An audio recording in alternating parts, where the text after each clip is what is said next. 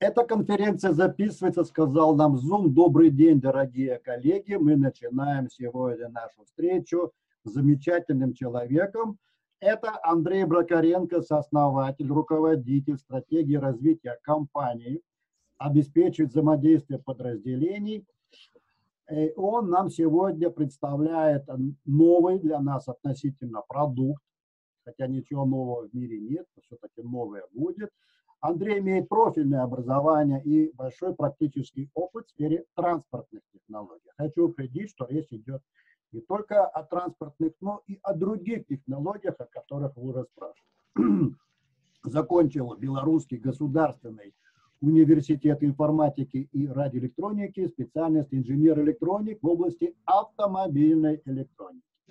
В настоящий момент Андрей активно занимается разработкой и внедрением в учебный процесс инновационных систем обучения. Среди приоритетов электронное обучение автомобильных механиков, диагностов, мехатроников, электриков без отрыва от производства. Дорогие коллеги, сегодня актуальность э, из-за коронавируса э, выросла не только к электронному дистанционному образованию и применению дистанционных образовательных технологий, Актуальность еще и в том, что мы не можем попасть в те мастерские, те классы, места проведения практик, где могли раньше обучать наших э, специалистов инженерно-технического профиля. Я надеюсь, вы эту актуальность э, почувствовали, оцените. И я попрошу вас записывать вопросы. У нас потом будет дискуссия. Итак, Андрей, вам слово. Слушаем. Спасибо. Добрый день, Юрий, добрый день, коллеги. Э, раз, рад вас видеть, что нашли время возможности присоединиться к нашей конференции. Э, собственно, на сегодняшний день ну, насыщенные проблемы, связанные как раз-таки с тем, что мы были вынуждены протестировать, попробовать электронные средства обучения, в частности в дистанционной форме, и познакомились, скажем так, более глубоко с теми проблематиками, которые вызваны именно со спецификой подготовки именно технического персонала. Если мы говорим про технический персонал, то здесь мы будем говорить про тех людей, которые работают со сложными техническими э, инструментами, оборудованием, э, решают, скажем так, те задачи, которые связаны с непосредственной эксплуатацией э, различного рода технологических технических средств. Соответственно, э, если вот полгода назад еще рассматривать, собственно, обратную связь от э, образовательных учреждений, в частности преподавателей, то большое мнение складывалось именно э, о том, что электронное обучение в нашей сфере, оно неприменимо. Наша сфера, это я подразумеваю именно транспортные технологии, техническая сфера, где готовят техников и инженеров. Это что среднеспециальное, что высшее образовательное учреждение. Мнение было абсолютно идентичное, оно абсолютно э, ну, а, одинаковое было. Естественно, э, в связи с вынужденной мерой э, провести дистанционно вот эти формы обучения, столкнувшись с рядом проблем, э, преподаватели начали задумываться, то есть те, кто организуют процесс, начали задумываться, а все-таки, быть может, обычная презентация, проведенная в дистанционной форме, то есть в рамках системы дистанционного обучения э, не настолько эффективно, а есть некие другие инструменты, которые позволяют организовать вот этот процесс. О, собственно, собственно, об этом в нашем докладе сегодня мы будем об этом рассказывать. Значит, включаю демонстрацию экрана и приступаем с вами э, к нашей конференции. Итак, ну, э, как Юрий уже представил, спасибо, э, целый путеводитель. По мне, я являюсь с организатором, совладельцем компании, с основателем Международного центра Sensis Engineering, э, два высших инженерных образования. Первое, скажем так, э, его надо было получать, второе было осознанное. И вот в ходе получения этих высших образований я столкнулся с рядом проблем. И ряд проблем был э, связан именно с тем, что те знания, которые на сегодняшний день необходимы, умения и навыки э, в нашей сфере, они не соизмеримы с тем, что преподавалось и преподносилось на, на образовать, в образовательном учреждении.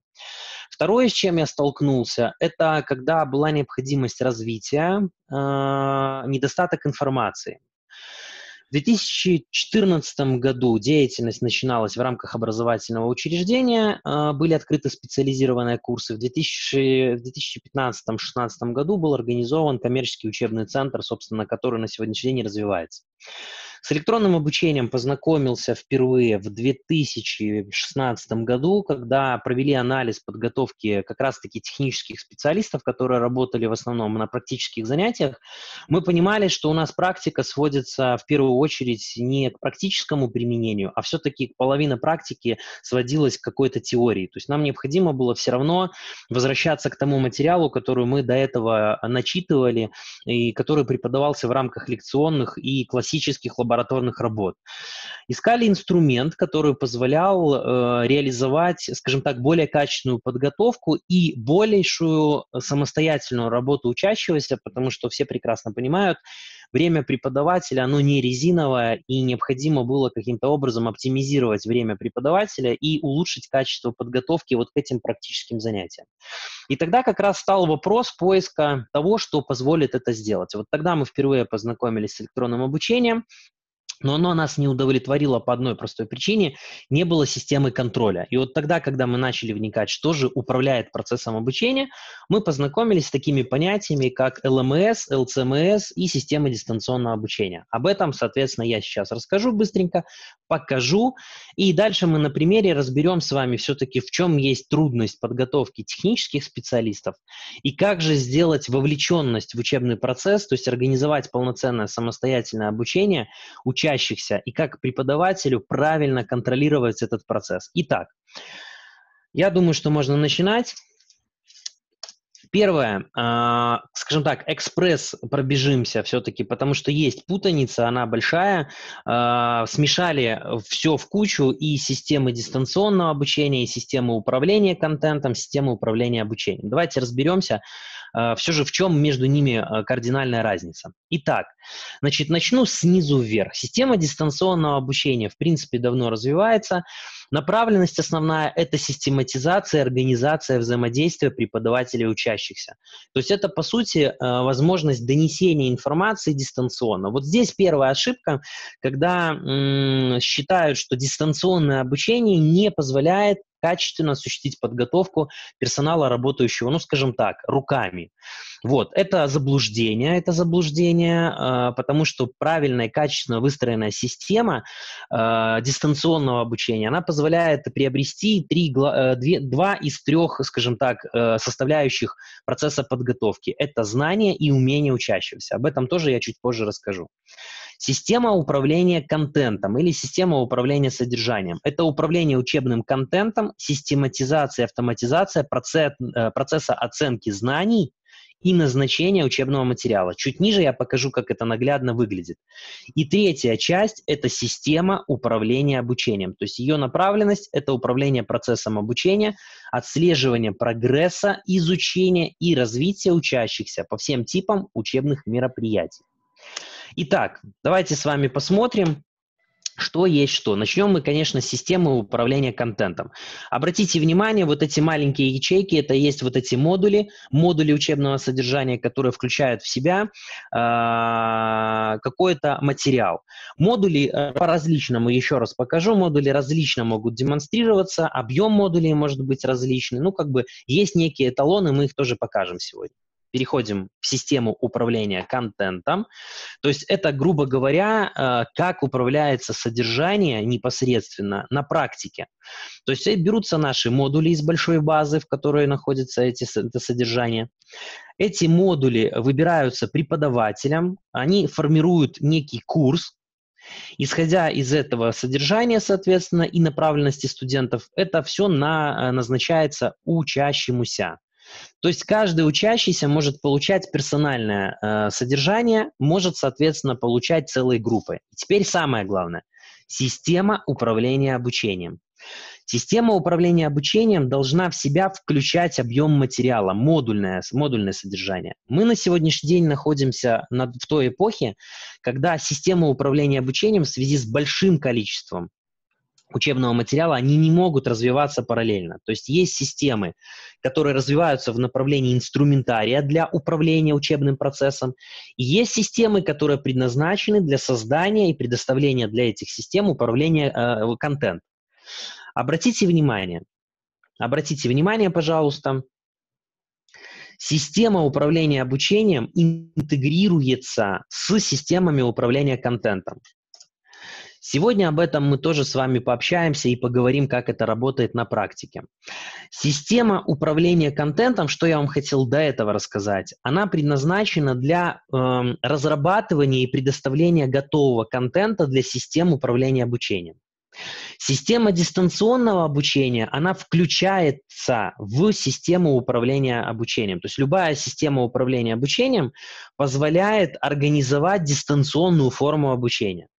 Таким образом, у нас получается, скажем так, э, различные формы применения. Так вот, когда мы даже готовились к вебинару, с Юрием э, были публикации, э, один из, скажем так, участников написал такое замечание, что почему дистанционное обучение ставят в штыки и так далее. Коллеги, обратите внимание, речь сегодня идет про электронное обучение, а дистанционное обучение – это лишь форма донесения информации. Поэтому это важный момент. Электронное обучение на сегодняшний день очень глубоко и плотно внедрено во все формы обучения. Я об этом тоже сегодня расскажу. Итак, переходим к нашей части. Это специфика подготовки технического персонала. Собственно, я буду как раз-таки говорить про автотематику, потому что на сегодняшний день это достаточно болезненная сфера, связана она со следующим, потому что необходимы большие площади и огромные колоссальные затраты на развитие учебно-материальной базы. Итак, поехали.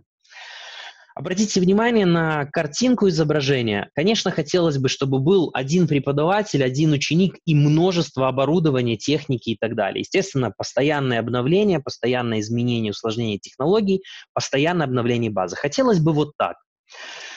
В идеале, получается, можем, скажем так, добиться того, что есть возможность поработать с группой, есть возможность оснащения, оборудования, техники и так далее, но обратите внимание, время, которое мы можем уделить на группу и дать возможность каждому ученику поработать, оно не всегда позволяет организовать качественную работу индивидуальную каждого учащегося. Из-за этого у нас, естественно, падает качество подготовки. А если еще глубоко покопнуть, то у нас картина вообще вот подобного рода. Это, ну, скажем так, 70% наших образовательных учреждений в лучшем случае могут позволить себе именно такой формат подготовки. Обратите внимание на учащихся, это не юмор, это реальность. А, к сожалению, наши ученики на подобных занятиях выполняют роль некого слушателя, зеваки, я бы даже сказал, который машет головой, преподаватель распинается, что-то рассказывает, показывает, но в силу того, что сложное оборудование, мало времени на изучение и так далее, у нас иногда страх э, в большинстве случаев допустить ребят к этому дорогостоящему оборудованию и технике. Соответственно, реалии таковы, что у нас учащиеся превращаются просто в зевак, которые нечто слушают, нечто смотрят и нечто делают в последующем. Естественно, такой формат подготовки не подходит. Что же в, идеально, в идеальности должно быть? Естественно, если мы говорим про сферу обслуживания, ремонта машин, автомобилей, строения, у нас должен быть полный перечень. То есть учебная материальная база должна впитывать, включать в себя все возможное оборудование, которое применяется на рынке. А это иногда море торговых марок, огромное количество, это иногда большое количество технологий в зависимости от производителя автомобилей и так далее. Такая же картина и в, оборудов... в медицинском оборудовании, такая же картина в строительной сфере, когда мы говорим про спецтехнику, когда мы говорим про эксплуатацию строительной техники и так далее. Такое же у нас в машиностроении, когда есть огромное количество различных видов оборудования, инструмента, а, различные технологические операции и так далее. Самая большая проблема то, что э, необходима постоянная актуализация вот этих вот есть обновление оборудования, есть обновление технологий, это постоянно надо обновлять. Соответственно, мы должны учить тому, что будет, то есть на опережение. И меньше говорить про то, что было. То есть есть то, что всегда повторяется, то есть математику, физику никто не отменял, она всегда есть. Но если мы говорим про дальнейшие этапы развития и про технологии, то они развиваются, причем очень быстро. Иногда это 2-3 изменения в год. Представьте картину, как поменять ежегодно 2-3 раза в год менять вот эти вот все стандарты. Да никак.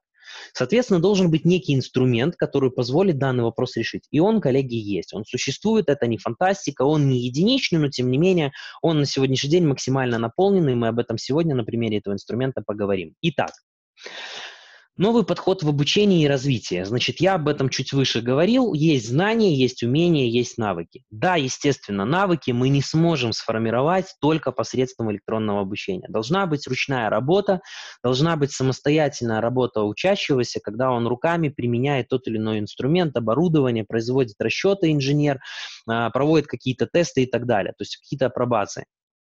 Но знание и умение, это уже доказано, нашим центром это опробировано на протяжении четырех с половиной лет. Знания и умения лучше всего формируются именно с применением электронного обучения. Когда самостоятельно включен в процесс учебный э, учащийся, он может показать реальность своих знаний. То есть он может продемонстрировать, насколько он э, правильно разобрался или нет. Как это сделать, я покажу на примере чуть-чуть ниже. Но главное, что необходимо понять из этого слайда, года, знания и умения формируются прекрасно с использованием электронного обучения, правильного профессионального электронного обучения. Итак, далее, учебный контент. Самое главное, что надо понять, это то, что э, у нас на сегодняшний день геймифицированное поколение. Поколение, которое не привыкло изучать большую, большое количество информации и не привыкло на сегодняшний день к обработке большого объема информации. Соответственно, надо соблюдать вики-эффект. Вики-эффект – это короткие фрагменты информации. Теперь самое главное – это возможность эту информацию увидеть ее применение в реальности, то есть в практике. Далее, соответственно, это анимация, изображение, интерактивные, динамичные, активные изображения. И теперь самое важное, то, что позволяет контролировать процесс изучения материала преподавателю и понимать учащемуся, разобрался он и правильно или нет – это система самостоятельного контроля. То есть система контроля – это перечень вопросов различного рода, мы тоже сегодня на них практически посмотрим, которые позволяют учащемуся, позволяют учащемуся понимать, насколько он правильно разобрался с материалом, а преподавателю отслеживать индивидуальный прогресс как одного учащегося, так и групп в целом. Итак, поехали дальше. Значит, э, практикоориентированные модули. Практикоориентированные модули, которые позволяют руками, пускай даже это мышка, пускай это в виртуальной среде, но тем не менее выполнять практические процедуры. Самое важное. Когда мы говорим про контент, он должен быть максимально реалистичным. Он не должен, э, скажем так, быть неким выдуманным. Это то, что в реальности должен применять ученик. Это самое главное, самое важное. Ребята тогда смогут в последующем не бояться, э, то есть преодолевается мост между теорией и практикой, выстраивается э, именно правильности применения. Об этом мы тоже проговорим. Как организовывается процесс обучения? Значит, интерактивность против пассивности, когда учащийся вовлечен в процесс, и он мало того, что вовлечен в процесс, он участвует в нем, в этом процессе. Далее, прогресс в реальном времени. То, что позволяет преподавателю в любой точке земного шара контролировать и отслеживать процесс ученика, а ученику в свое удобное время работать.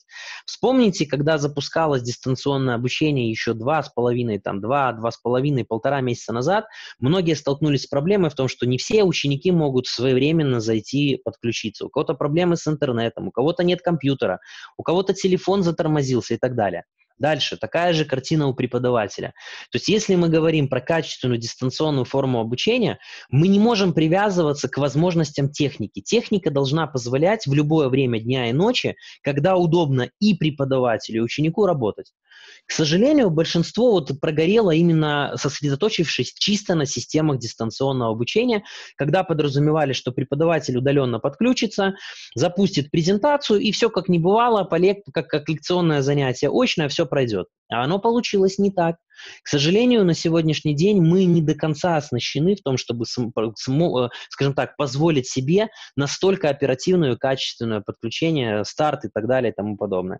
То есть мы не можем привязываться. И на самом деле это проблема всех стран, потому что на сегодняшний день это жизнь. К сожалению, бывают случаи, когда, и в большинстве случаев, когда нет возможности старта одновременного. А как ученику просмотреть? Видеозапись, согласитесь, видеозапись это уже не, не, не то же самое, когда есть очное касание, есть возможность пощупать, потрогать, задать, спросить и одна, сразу же получить ответ. Соответственно, есть проблема, если применять чисто дистанционное обучение в такой форме. Итак, Мост между теорией и практикой – это когда электронное обучение постоянно на всем этапе подготовки сопровождает ученика. Это в том числе и стенды, прекрасная работа, когда электронное обучение говорит, какие процедуры выполнить, учащийся выполняет. Мы сейчас не говорим про полную автоматизацию, где преподаватель не нужен. Это самое большое заблуждение.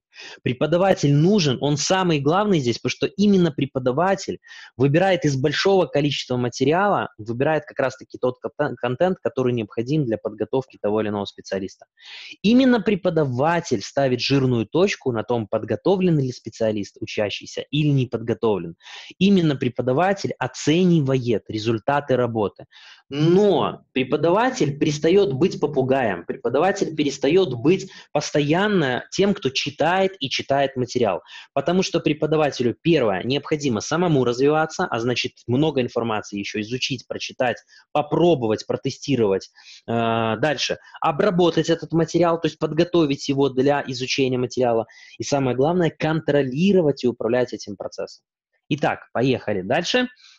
Мы сейчас говорим с вами про конкретную систему, система Electude. Это система управления обучением, она же система управления контентом, то есть гибрид, но в большей степени предназначен именно для... Э, это готовый контент, он на сегодняшний день представлен на 22 языках. Наш центр переводит на русский язык, на казахский, и сейчас начинаем перевод на украинский язык. Соответственно, а, мультиязычная система учащийся может выбирать, а, опять же, по разрешению преподавателя, выбирать тот язык, на котором ему необходимо изучать. Соответственно, если мы говорим про сложности в изучении, например, английского технического, что в сфере автомобильного бизнеса сейчас большая проблема – с использованием системы эта проблема полностью растворяется, и э, есть возможность как научить на русском языке, так и научить на профессиональном английском техническом языке. То есть у преподавателя появляются еще дополнительные потенциалы возможности для расширения своих функциональных возможностей. Далее, используют систему много где, и система является госпроектами в ряде европейских, Соединенных Штатах, э, в Китае и в Израиле сейчас ведутся сложные э, работы. Соответственно, система на рынке э, русскоязычном относительно недавно, два с половиной года, и э, на сегодняшний день достаточно активно пользуются э, профильные образовательные учреждения. Итак, что из себя представляет система? Это большое количество учебного содержания, как практикоориентированные модули, так и тесты, то есть для контроля аттестации э, учащихся, так и, соответственно, э, учебный контент, учебное содержание. Э, мы сейчас заглянем внутрь системы и посмотрим, как это организовано и работает. Итак, по презентации на этом все. Я перехожу на следующую презентацию. Быть может, пока есть какие-то вопросы, коллеги? Быстрые вопросы, потом у нас будет время, блок, где мы ответим на все возникшие вопросы в ходе презентации. Итак, есть? То есть направленная профильная, надо сказать, система. Именно на да. автомобилестроение. Ну, не только автомобилестроение. То есть, если мы говорим про робототехнику, про систему на умный дом, то есть, где есть датчики, да, электронные... еще, да, автоматизация, скажем так. Да, да, да, абсолютно верно. То есть, если мы берем строительную сферу, то это там, где спецтехника, спецтехника используется, ну, где да, есть машины, да, транспорт обеспечивающий, да, понятно. Да, абсолютно верно. Если мы говорим про, например, э, вот у нас очень много заявок, запросов идет, э, именно связанных с э, медицинской техникой, то есть где необходимо обучить медицинский персонал. Здесь мы отвечаем всегда так. Если касается сферы ремонта техники, именно оборудования медицинского, да, можно подготовить, есть контент. Если мы говорим про специфику использования, эксплуатации в целях лечения, диагностики и так далее, то, конечно, в данной ситуации контента этого нет, и, в принципе, это не направлено. Мы сейчас говорим про сферу транспортных технологий. Да, да совершенно верно. Да, совершенно верно. Тем не менее, контент, вот этот именно интерактивность, подход к интерактивности, геймификация – это пример того, как это должно работать и как это эффективно э, функционирует в практике. Итак, сама система – это облачная технология. Много спра- многие спрашивают, существует облако или нет. Нет, облако, э, точнее, не существует коробочной версии. Существует облако, потому что коробочная версия не позволяет, э, скажем так, одновременное касание ученика и преподавателя и одновременное э, контроль э, процесса.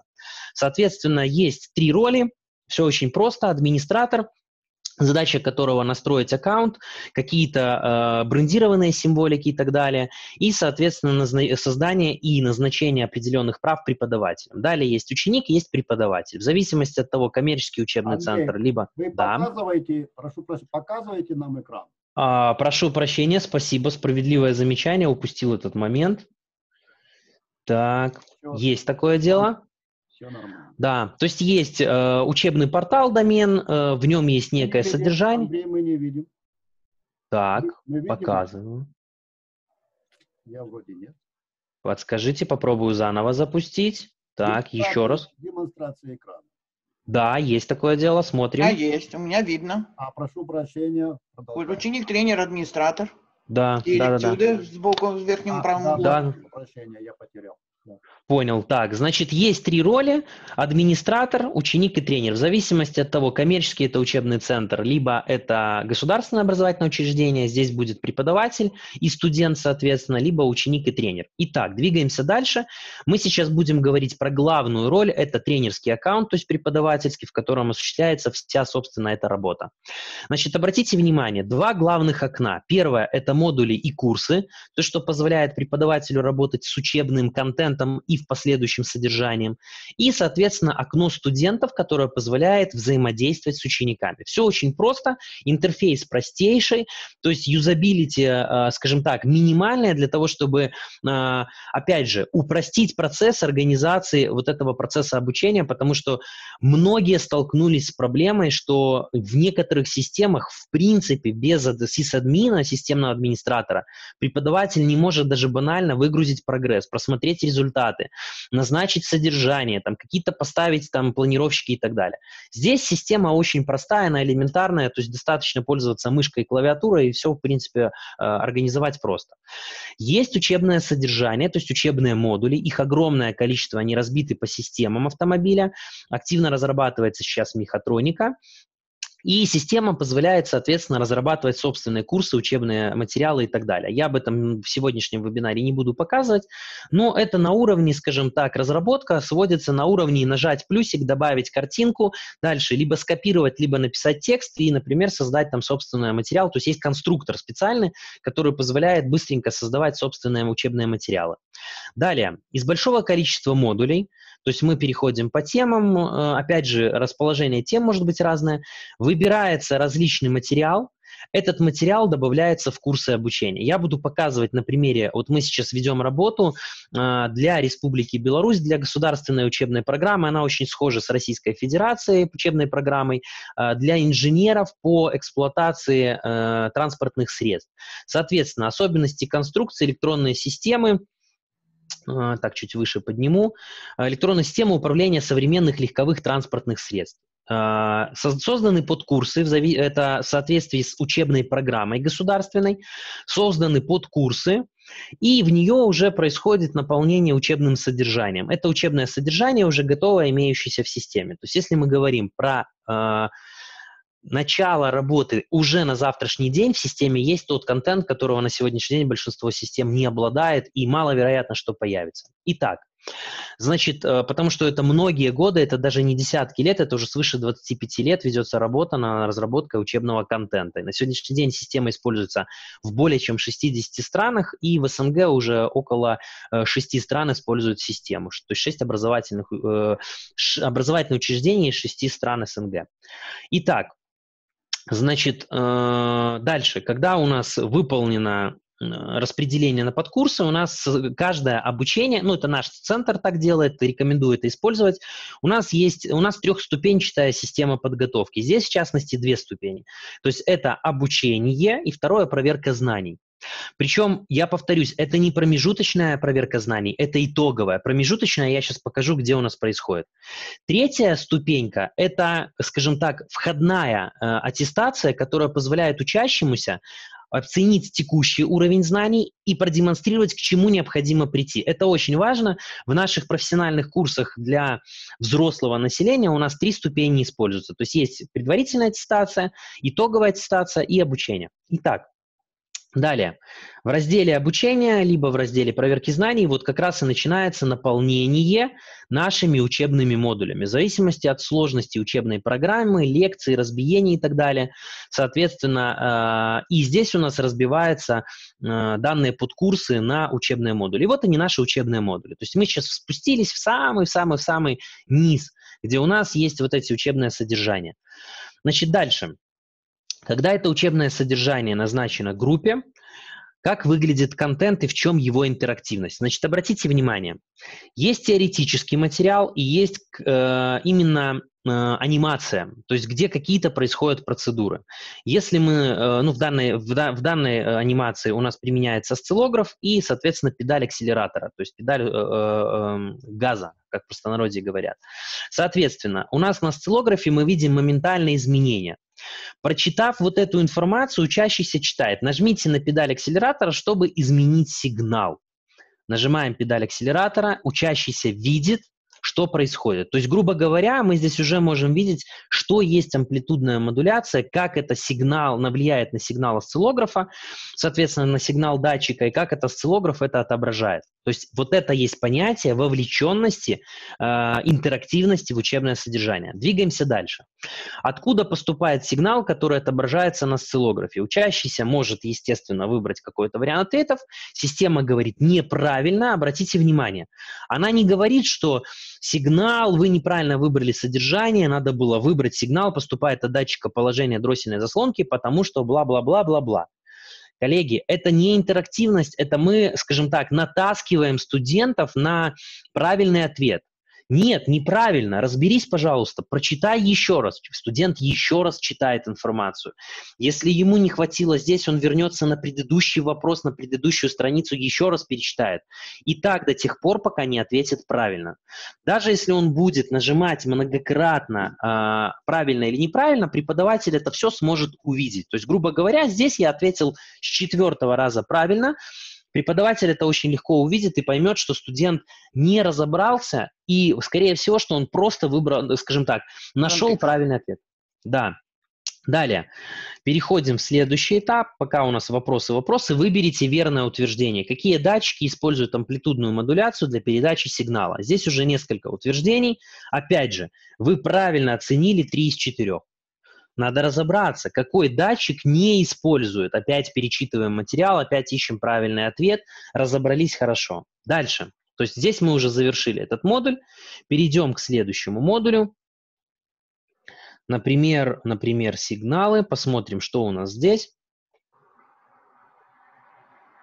Нажмите на входную цепь блока управления. То есть есть интерактивность, правильно нажали, система показала верно. Двигаемся дальше. От каких устройств это вопрос? Далее, далее, далее. Нажмите на электронный блок управления в блоке управления. Итак, двигаемся дальше. То есть вот это вот, нажмите на выходную цепь блока управления. Вот это у нас есть понятие интерактивности, когда включен в учебный процесс наш учащийся.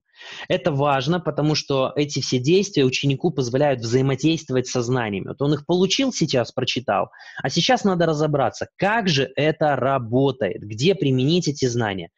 Таким образом, мы можем сформировать полноценные нормальные знания, где учащийся понимает, где они применяются то здесь возможность двигать различные устройства. Ну, я думаю, здесь, в принципе, вы понимаете, о чем речь. Соответственно, пошагово, пошагово двигаемся, где-то можно изменить, где-то можно перетащить и так далее. Я сейчас перейду в практикоориентированный модуль, посмотрите, как формируются умения на примере системы. Итак, здесь выходим и перейдем в наш инструмент. Так, ну, например, модули. Ну, и, например, здесь, ну, давайте какой-нибудь простейший микрометр. Самое главное, учащийся всегда должен понимать, то здесь есть и расчеты, есть измерения и так далее. Учащийся должен понимать физический принцип работы того или иного инструмента. Если учащийся не понимает физического принципа, то есть вот опять же определите устройство, компоненты э, инструмента, оборудования и так далее, и так далее, и так далее. Если учащийся не понимает физического принципа работы инструментов, то и в принципе принять он его не может, э, применять его не может правильно. Это тоже важно. Это как раз позволяет подготовить ученика, подготовить учащегося к практической работе. Вот мы проводили эксперименты с такими измерительными устройствами, как осциллограф, мультиметр, динамометрический ключ для механиков э, в сфере обслуживания ремонта э, транспортных средств, там, оборудования и так далее, где необходимо э, правильно выставлять моменты затяжек.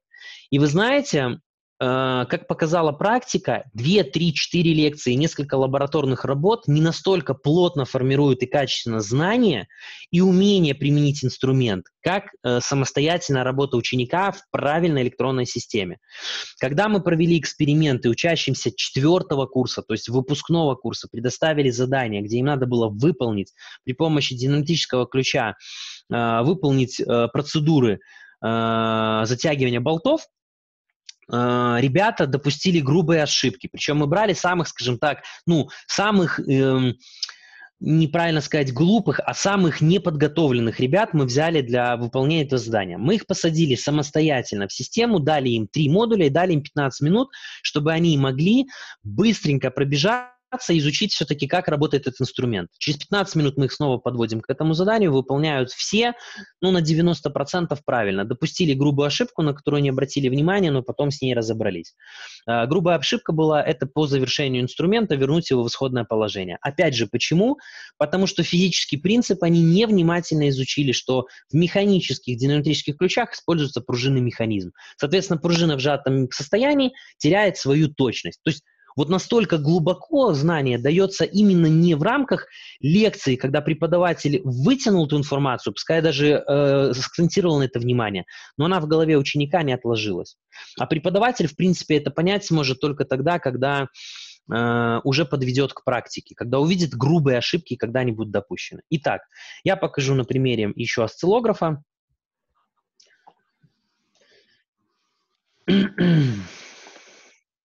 Опять же, обратите внимание, есть различные элементы, где необходимо выполнить ту или иную процедуру и провести какие-то измерения и так далее. Включите подачу бумаги. Обратите внимание, осциллограф применяется самый простейший, элементарный, для того, чтобы студентов не пугать. Дальше уже в системе есть модули, в которых, конечно, применяется сложный осциллограф, современный осциллограф, двухканальный и так далее. Но здесь как бы принцип понять, как это функционирует, работает, как измеряются сигналы, в чем физика процессов и так далее. Элементарно, просто и возможно. Хорошо. Так. С этим, я думаю, разобрались, да, в чем есть интерактивность. Теперь, коллеги, геймификация. Как заставить нашу молодежь на сегодняшний день вникать в процесс и, самое главное, доходить до конца? Что система не позволяет сделать ученику? Она не позволяет пропустить учебное содержание. То есть если в учебнике он может пролистать страницы, то здесь он этого сделать физически не может. Он не сможет перейти на следующий вопрос, пока не ответит на этот. Он не сможет перейти на следующее содержание, пока не изучит предыдущее и не ответит правильно. Это преимущество. То есть преподаватель избав... да. Да, да, избавляет себя от этой проблематики постоянно вот играть в кошки-мышки. Разобрался или не разобрался, так или не так. Дальше. Преподаватель видит как групповой прогресс, так видит и индивидуальный прогресс. Это тоже важно, потому что у нас мы не можем всех под шаблон загнать. Какие-то учащиеся двигаются впереди, какие-то отстают сзади. Соответственно, задача преподавателя роль помогать отстающим и не препятствовать впереди идущим. То есть в чем, что, в чем здесь плохо, если ребята двигаются вперед? Это же замечательно. Соответственно, в таком виде мы видим этот прогресс. Заходя внутрь, в зависимости от групповых результатов или индивидуальных, мы можем видеть, соответственно, работу учеников. Теперь смотрите. Заходя внутрь, заходя внутрь, и учащийся видит свой прогресс, то есть он видит конечную точку. Вспомните себя в юности, когда вы читали большие книжки. Первое, что мы всегда делали, мы открывали и смотрели, сколько в этой, страни... в этой книжке страниц. 600. Дальше многие листали и смотрели, а много ли здесь картинок, тяжело эта, кни... учеб... эта книжка будет читаться или нет. И только когда мы начинали читать и вовлекаться в это содержание, растворялось вот это желание, скажем так, поскорее закончить. Здесь, в данной ситуации, картинка, э, скажем так, система также работает. Есть начальная точка, есть конечная точка, то есть геймификация. Я вижу итог своей работы. Дальше. и преподаватель и учащийся видит результат. Какой у меня прогресс? Я сейчас не говорю про аттестацию. Мы не говорим про проверку знаний. Мы говорим, что есть возможность контролировать здесь и сейчас ход изучения материала. Это есть возможность контроля в любое время, в любом месте. И вот здесь мы можем видеть правильность или неправильность ответа, то есть какого раза правильно ответил учащийся. И исходя из этого преподаватель как раз и оценивает, разобрался или не разобрался ученик, и в чем он разобрался, в чем нет. Дальше, геймификация – это когда есть возможность показать результаты группы. То есть показать учащимся, что, ребята, вот вы наработали, вот ваше время, вот ваш прогресс. Опять же, в зависимости от того, какие задачи у нас ставятся, мы можем показать лучших, худших э, и кто сколько времени затратил. Дальше, если мы идем через э, учебное содержание, и в зависимости от, скажем так, сложности э, материала мы можем видеть по контенту, то есть по курсам определенным, по определенным модулям результаты группы. Где надо группе помочь, где группа плохо разобралась, соответственно, мы это делаем э, уже здесь. Итак, Геймификация и интерактивность. Галопом по Европам, но я надеюсь, что плотненько, скажем так, и мощно рассказал о том, все же, что такое на сегодняшний день. Вот этих два главных понятия, которые позволяют учащихся вовлечь в учебный процесс. Когда ученикам очень, э, скажем так, нравится, они заинтересованы э, изучать тот материал, который им назначает преподаватель. Потому что есть на сегодняшний день большая проблема, э, нету вот этой взаимосвязи между преподавателем и учеником. То есть преподаватель понимает, что много информации он просто в никуда рассказывает, только считанные ребята, которые эту информацию способны, во-первых, усвоить, а второе, они заинтересованы ее усвоить. Остальные, как правило, это на пассиве, услышали, в одно ухо влетело, в другое вылетело. Система вот эту преграду позволяет развеять и помочь более качественно доносить этот материал до, скажем так, голов наших учащихся. Итак, вопрос э, Юрий сразу мне э, сделал наставление о том, что я обязательно поделился контактами, где можно с нами коммуницировать, где можно с нами общаться и контактировать. У нас есть группа в Телеграме, это международное сообщество э, в рамках нашего большого международного проекта континентальной образовательной лиги. Э, желающие могут обратиться к организаторам э, либо к нам написать, мы добавим в эту группу, где происходит международный обмен опытом между преподавателем и коммуникацией. Дальше есть контакты, э, центр международный, можно к нам писать соответственно, по тем контактам, которые указаны ниже. Здесь у нас есть различные офисы. И у нас ведется большая работа, а, у нас есть свой собственный центр разработок, есть центр перевода, отдел перевода, которые занимаются разработкой учебного содержания и контента. Кроме того, что делают э, голландские наши коллеги, э, разработчики системы Electute, мы еще ведем сложные разработки по эксплуатации, применению оборудования, описанию технологий, регламентов и систем. Это все можно увидеть в нашем разделе «Каталог», Здесь можно ознакомиться с тем, что на сегодняшний день существует, и, возможно, кому-то уже будет интересно. То есть это можно будет в последующем внедрять и интегрировать в ваши системы управления обучением, либо кто пользуется системой Electute, можно использовать а, готовые программы и курсы обучения. Итак, Юрий, я на этом э, с презентациями завершаю.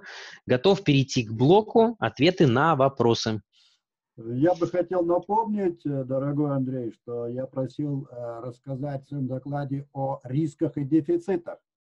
Да, но когда я ждал... Когда все хорошо, то нам никто не поверит. Наверное, какие-то есть и риски. Есть, конечно, риски, есть, конечно же, э, у нас, э, скажем так, все всегда упирается да, в how much, как говорят там американцы, сколько это стоит. Э, самое интересное, э, стоимость понятия относительная. Давайте считать следующее. Сколько стоит проезд преподавателя каждый день на занятия с занятий? И таких преподавателей много. Сколько стоит проезд учащихся с места на место? Сколько стоит лекционные занятия, площади проведения, сколько стоит постоянное обновление оборудования инструмента, сколько стоит командировочные расходы для того, чтобы и преподавателю заниматься развитием организации процессов. Дальше, если мы говорим про сторонние системы, использующие, скажем так, системы управления обучением, у многих есть большая проблема в том, что нужны первую очередь системные администраторы, и их много для того, чтобы развернуть систему, сопровождать ее, потом какие-то дополнительные делать э, наработки. Это все деньги. У каждого учреждения, у каждой организации это свои собственные затраты. Если мы говорим про систему нашу, систему нашу, система в среднем, если говорить про оборудование, скажем так, виртуального или стационарного компьютерного класса, который разворачивается в течение одного дня, обучение преподавателей происходит в течение второго дня. То есть система уже полностью готова к работе на третий, четвертый день с момента ее приобретения. Это очень быстро, потому что мы знаем, некоторые системы нужны месяцы, чтобы полноценно ее настроить и запустить, и обучить персонал хотя бы базовым функциям. Наша система в среднем на 20 рабочих мест, на 20 рабочих мест в год стоит где-то порядка, ну я в евро расскажу, потому что у нас интернациональная международная конференция, 2,5 до 3 тысяч евро в год на 20 ученических доступов. Что такое ученический доступ? Его можно использовать персонально, то есть ученику выдали логин и пароль, и он персонально в течение года занимается. И можно использовать в рамках групповых занятий. Группа отзанималась, прогресс сбросили, предоставили занятие другой группе. В таком случае система данный прогресс не сохраняет. Этот прогресс просто выгружается и хранится просто в CSV-файлах либо в Excel. Соответственно, очень лояльная стоимость. Почему нельзя купить, скажем так, один раз и пользоваться? Система постоянно добавляет новое содержание. То есть, коллеги, у вас постоянно библиотека, которая в ней добавляется постоянно материал, материал, материал. Поэтому здесь идет именно э, оплата пользования этой, э, этой библиотекой знаний.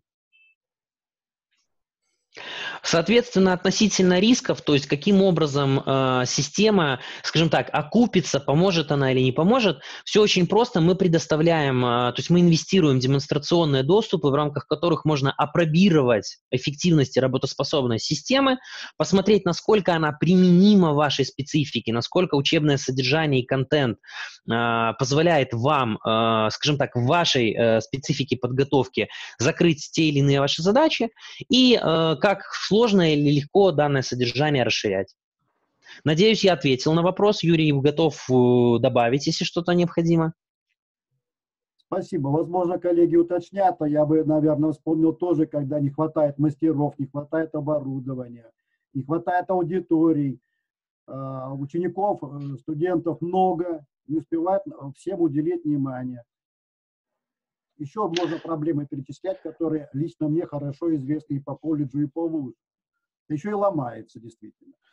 Да, Юрий, я прошу прощения, добавлю еще здесь очень справедливо сделали на самом деле дополнение, это очень справедливо. Мы сталкивались с большим количеством образовательных учреждений, где, э, скажем так, выпал компетентно подготовленный преподаватель, которого учили на заводе. И все, и оборудование, учебные стенды просто остановились, и они не позволяют учить. То есть учебный процесс на этих стендах остановлен. Это очень большая проблема. Это тонны замороженных средств, которые неизвестно вообще э, реанимируются или не реанимируются используются. Это, это, специ, это, это большая проблема. Система, да, позволяет автоматизировать как обучение преподавателей, то есть преподавателя быстро ввести в технологию, в курсы обучения, в программы, так и учащимся предоставить возможность э, постоянно заниматься учебным процессом. Да, ну, спасибо. Пока коллеги готовят вопросы, я от себя дополню. Я очень въедливый, всегда проверяю э, своими руками, прежде чем что-либо делать. Я получил аккаунт демонстрационный, я э, скачал несколько скормов в LMS Moodle, потому что вот тут уже есть вопрос, как интегрировать свой учебный контент и э, вот эти элементы.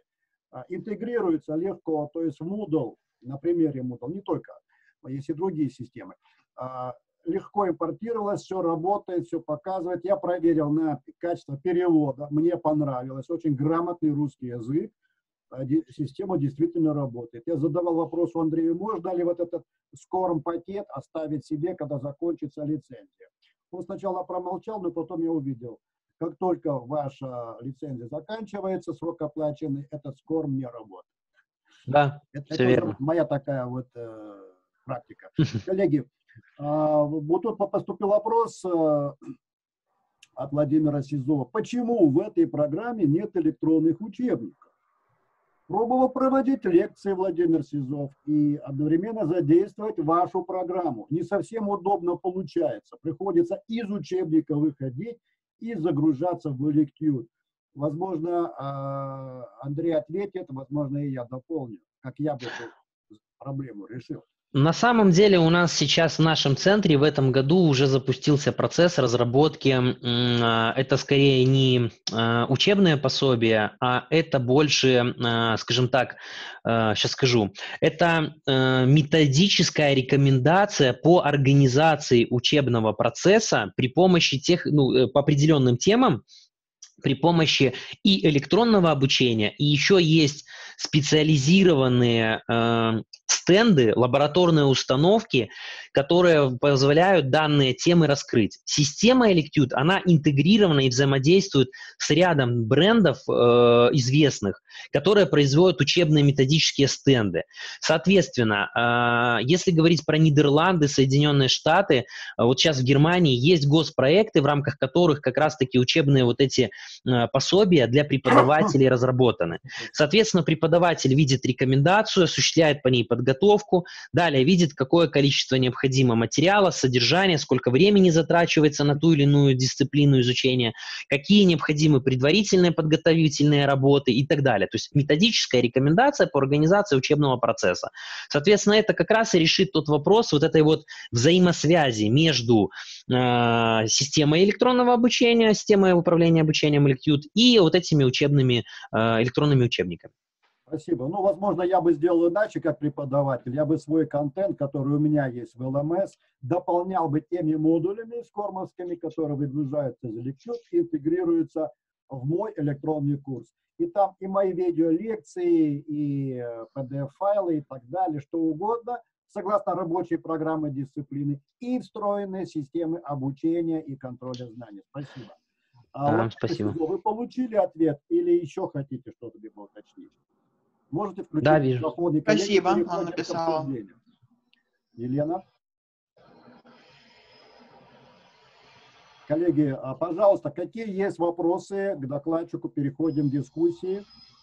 А, что вам не понравилось, что вам понравилось, можете прямо сказать. Вот ссылку на предыдущие, можно вебинары дать? Здесь вот правильно написала. Можно, можно. Из Украины, сейчас я, да. да, я ссылочку сейчас сброшу.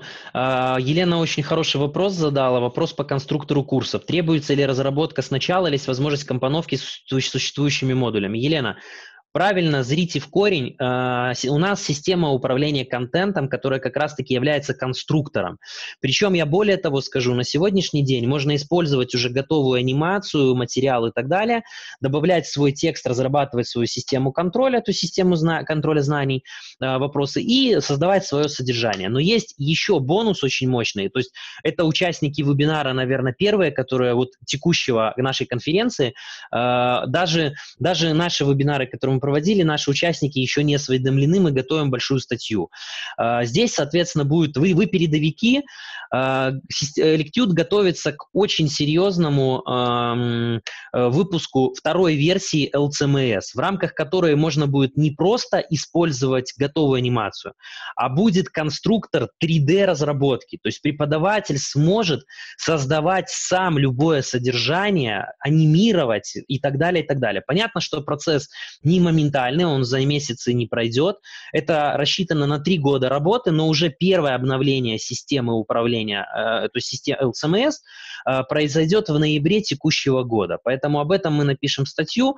Э, следите за нашими новостями на сайте, э, сможете увидеть, когда эти обновления придут. Также мы будем в наших группах писать. Ссылочку сейчас бросаю. Поэтому да, Ответ абсолютно правильный. Разрабатывать контент очень запросто, и система для этого предназначена. Интересно. Ну, кстати, мы эти э, репосты будем и в группе «Союз профессионалов дистанционного обучения» также дублировать, и вы будете также в этой группе приходить читать, смотреть, обсуждать.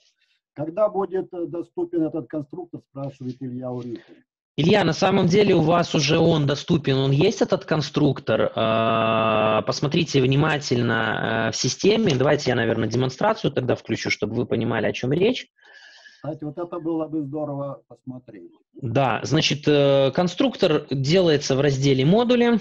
Э, здесь мы, соответственно, переходим так, в закладочку, вот у нас плюсик. Вот с этого момента начинается конструктор. Есть различные типы наших, скажем так, э, заданий. Здесь мы используем, например, урок, название модуля «Союз профи так назовем. Далее, обратите внимание, есть галочка только для преподавателей. Это значит, э, э, знаете, на что это? Это как раз есть вот методические рекомендации. То есть можно создавать модули, которые не предназначены для учеников, а предназначены для преподавателей, где пишутся как раз характеристики того или иного курса. И вот кнопочка «Редактировать модуль». И вот теперь мы попадаем в этот конструктор. Значит, анимация, то есть здесь у нас все очень просто, то есть тут буквально 20 э, различных э, инструментов, и вот здесь вот у нас есть выбрать видео или изображение из другого урока. И здесь мы можем, ну, все что угодно. Давайте, например, тот же самый закон Ома, закон Вата, физика процессов, школьная физика, элементарно. Нажимаем ОК, и, пожалуйста, вот она у нас, картинка из другого урока загружена. Э, переходим там в что-нибудь посложнее, чего-нибудь там, например, продвинутый уровень. Э, здесь смотрим, смотрим, смотрим. Ну, какой-нибудь расчет цепи, например, той же самой. Вот, пожалуйста, здесь свое содержание, вопросы и так далее. Вот у вас готовый, готовый э, конструктор. Андрей, а можно сюда добавлять свой контент, свои файлы? Запросто. Свои... Вот, загрузить, выбрать рисунок, кнопочка, и, соответственно, выбрать веб-страницу видео онлайн. Легко. Это не является ли вот это ответ э, Владимиру Сизову, когда он хочет добавить свой учебник туда? Там была ссылка в файл, только сейчас. Да. Нет, там Ты добавляешь свой учебник базовый, если есть он в PDF. Или в виде ссылки на электронную библиотечную систему, и да. готовишь контент. Абсолютно верно, абсолютно верно. Да, абсолютно верно. Так оно и делается. То есть можно сделать ссылку на сайт, ссылку на видеоурок, на куда угодно. Можно отправлять, и в самой системе учащийся нажимает, ему загружается эта анимация, там материал, он работает. Да, совершенно верно. А можно увидеть, он открывал эту ссылку или нет в этой системе? А, мы это узнаем именно по вопросам. То есть он должен будет ответить. Очень просто. На самом деле это методика разработки. А, мы делаем, например, так. Я опять же приведу пример. Есть, например, упаковочный кейс некого оборудования. Да? Мы берем простую анимацию, фотоснимок этого кейса.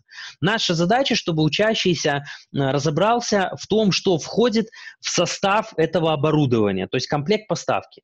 Мы говорим, от, нажмите на кейс, он нажимает на кейс, открывается вторая картинка, где уже распахнул, э, у нас он раскрылся и видно содержание. И вопрос, подскажите, какое количество э, адаптеров вы видите на изображении? И он отвечает. Соответственно, если он не нажал и не открылось, он этот вопрос ответить не сможет. То есть это уже как бы, э, это простейшая анимация. Я имею в виду, как можно простейшая анимация из, этого, из этой ситуации выкрутиться. Потому что, э, Юрий, вы правильно сказали про то, что преподаватель может сам загрузить и выполнить, но 90% преподавателей, они физически не смогут никогда работать с контентом. Это международный опыт. К сожалению, наши страны русскоязычные идут по точно такой же э, ошибке, скажем так, те же самые грабли мы, э, все шишки набиваем, наступаем на них. Европа еще 7 лет назад, в принципе, осознала, что преподавателя задача управлять процессом обучения, организовывать.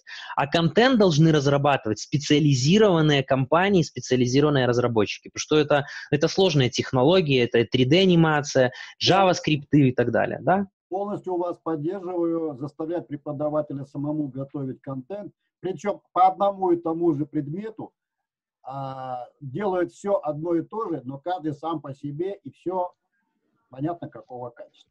Абсолютно верно. Поддерживаю. А, но я имел в виду, что дополнить готовый контент своим э, текстовым э, учебным материалом. Легко источников да. учебников. Это все Запросто, это правильное Владимира, решение. Это все к вопросу Владимира Сизова. Коллеги, какие еще вопросы? Давайте искать у него слабые места. Давайте искать, чего не хватает у нашего докладчика. Слабое ну, место в автомобильной промышленности у нас одно. Когда у нас будут хорошие автомобили? Андрей, я вот да. перед э, встречей спрашивал, ну расскажите про опыт гигантов, название тех всемирно известных гигантов, где это применяется. Не на автовазе, а в мире, чтобы нам было к чему стремиться. Э, Елена, вот вы правильно говорите. Ну, ну, кстати, очень справедливый... Ну, я, я сказал честно, я по соглашению э, сторон не имею права употреблять название этой, этой и многих других фирм, потому что это такое правило. Ну, я, я на самом деле сейчас кое-что покажу, и э, я более того скажу, э, есть такой завод-гигант ГАЗ, да, в группе ГАЗ КАМАЗ.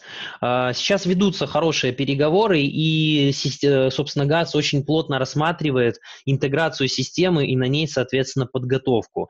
Вот, я сейчас покажу международный опыт, э, именно какие заводы в мире используют систему для подготовки. Это не коммерческая тайна, ее можно использовать.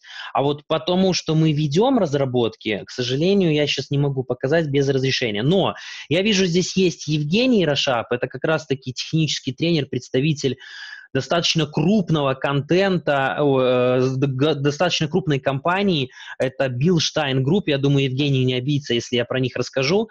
Это вот как раз-таки пример э, того завода-гиганта, который на сегодняшний день очень заинтересован в том, чтобы была возможность обучения э, сотрудников максимально быстрыми темпами, то есть и в э, онлайн обучении, и в очных и так далее. Поэтому вот пример завода, это кто в автотематике математики знает, это Blueprint, это... Э, господи, Евгений, помогите, пожалуйста, подскажите, потому что очень много брендов. Я у вас э, в группе, в группа, э, боюсь ошибиться, неправильно называть. Свак, если я не ошибаюсь, правильно? И Феви и Феби. Да, совершенно верно. То есть это достаточно популярные бренды, которые применяются э, в запасных частях на автомобильной технике и так далее. Так, а я тем временем уже нашел презентацию, в которой я вам покажу.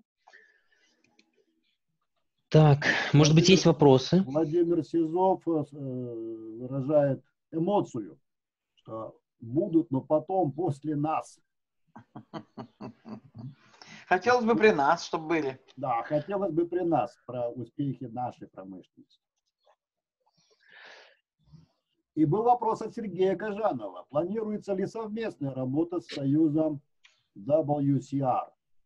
World, uh, подсказываете, World Soft, uh, World Skills Russia, вспомнил. О, как! А, вот как. Хорошо. Значит, э, Сергей, спасибо за каверзный вопрос. Э, с менеджером компетенции у нас сейчас прошли хорошие переговоры. Вам большое спасибо э, экспертам WorldSkills, которые работают с системой Electude, которые подсказали э, в движении о том, что есть палочка-выручалочка, способная организовать дистанционные формы, даже где-то дополнить демонстрационные экзамены и так далее. Да, по предварительным переговорам уже этой осенью в октябре месяце, если не ошибаюсь, сентябрь-октябрь, Electute планируется использовать для проведения э, финального этапа э, в пока одной только компетенции, это легковой транспорт. Мы сейчас еще и по, по э, грузовому транспорту тоже ведем переговоры. Поэтому да, сотрудничество однозначно мы заинтересованы. Э, представители в Голландии, в Бельгии, в Соединенных Штатах, в Испании, в Германии очень плотно работают с движением WorldSkills, поэтому не исключение, мы тоже заинтересованы, рады, открыты к сотрудничеству, поэтому будем, будем развивать взаимоотношения. Отличная идея в условиях коронавируса провести такие вот соревнования. Предлагали дистанционную форму, мы предлагали, но э, по какой-то причине, то есть изначально было выбрано, что будет проводиться на базе системы дистанционные э, вот эти отборочные этапы. Ну вот буквально на прошлой неделе, э, в понедельник, условно говоря, было положительно принято решение, и через три дня э, пришел ответ, что надо в срочном порядке отказаться от проведения вот этих отборочных этапов. И, соответственно, э, раз нету этапов, то и систему применять в принципе негде. А вот касаемо именно финала, канала, там, да, все используется. Так. Ну, давайте не будем уходить в политику. Э, да, согласен. Тут уже Илья Урюпин э, задает вопрос такой с подоплекой немножко политической, что запрещено и так далее. А вот Рустам Гизатулин спрашивает, видите вопрос, Андрей? Так, смотрю, я презентацию а, как раз нашел. Вы дали ответ. Как запланировано обучение и тренировка участников чемпионата? Получается, Значит, не как, а, а за рубежом вроде как э, есть как. Но нет, я более того скажу, и мы здесь в том числе уже обсуждали этот вопрос, мы будем предоставлять доступ для возможности подготовки как раз-таки. Рустам, классный вопрос, спасибо на самом деле большое. И как раз-таки система Electute позволит действительно подготовиться качественно к выполнению заданий. Значит, э, предварительно обсуждался вопрос о том, что будет э, для WorldSkills отдельный домен, отдельный домен, то есть система управления. На ней союзом экспертов э, будут разработаны вопросы, задания, которые будут на финальном этапе, и к ней будет определен подготовительный этап. Всем участникам, которые принимают участие в финале, будет предоставлен доступ подготовительный. В течение двух месяцев ребята смогут подойти, пройти под предварительную подготовку. Преподаватели, эксперты могут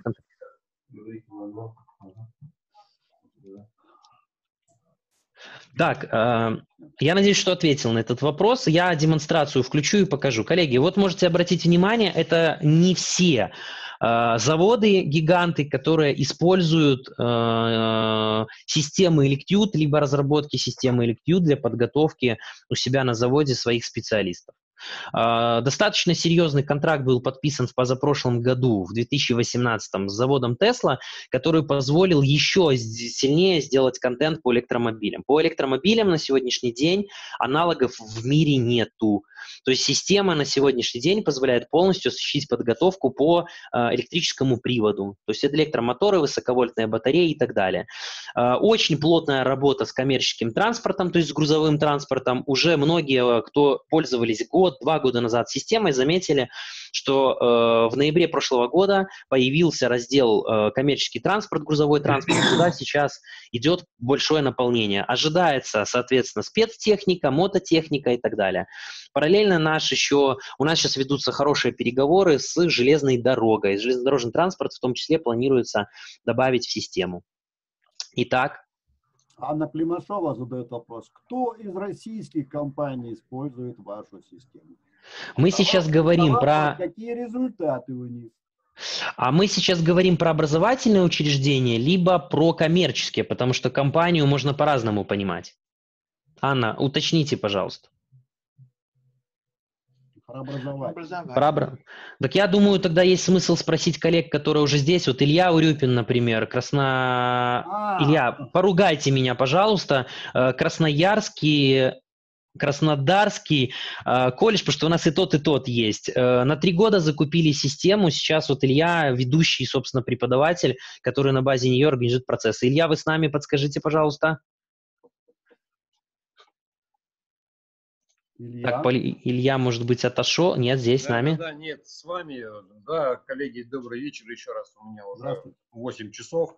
Э, Красноярск, Восток. Э, Красноярский техникум транспорта и сервиса. Мы э, занимаемся подготовкой автомехаников и специалистов среднего звена. Это мастер участка, либо бригадир, либо при хорошем развитии опыта работы это мастер-приемщик. Вот, у нас э, четыре направления по этим специальностям именно.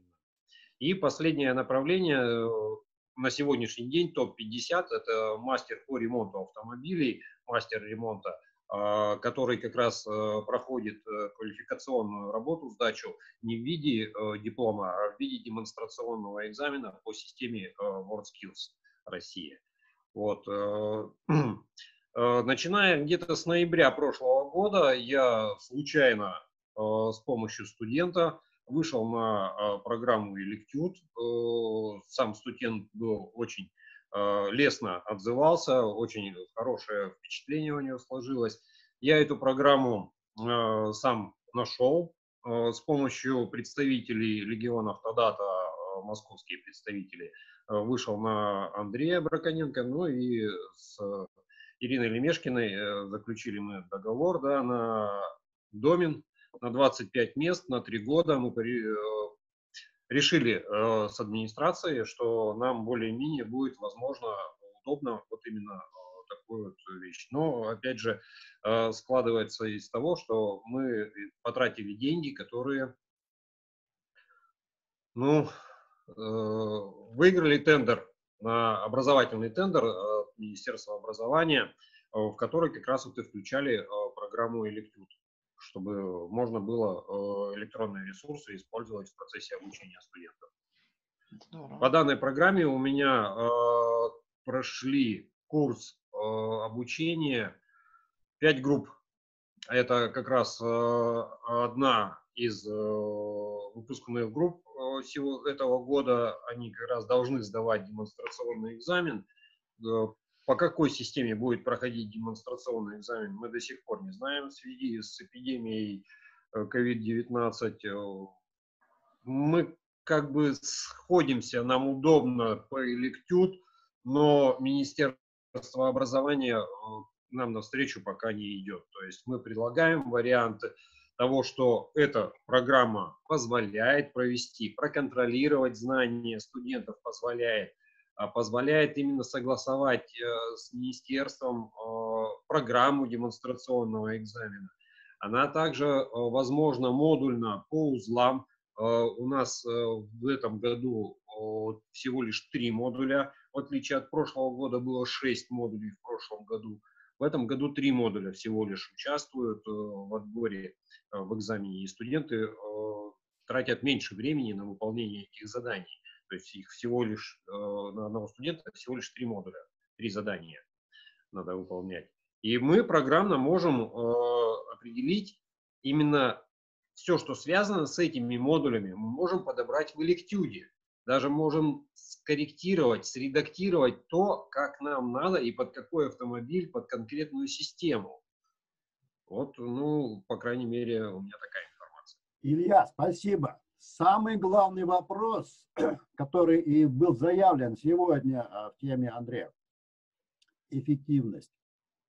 Это то же самое спрашивает и Анна Климашова результаты. То есть вы затраты понесли. А результаты, можете ли вы сравнить то, что э, вы делали до коронавируса, до эпидемии, э, до пандемии, а, что было э, раньше и что вот стало сейчас благодаря элективу?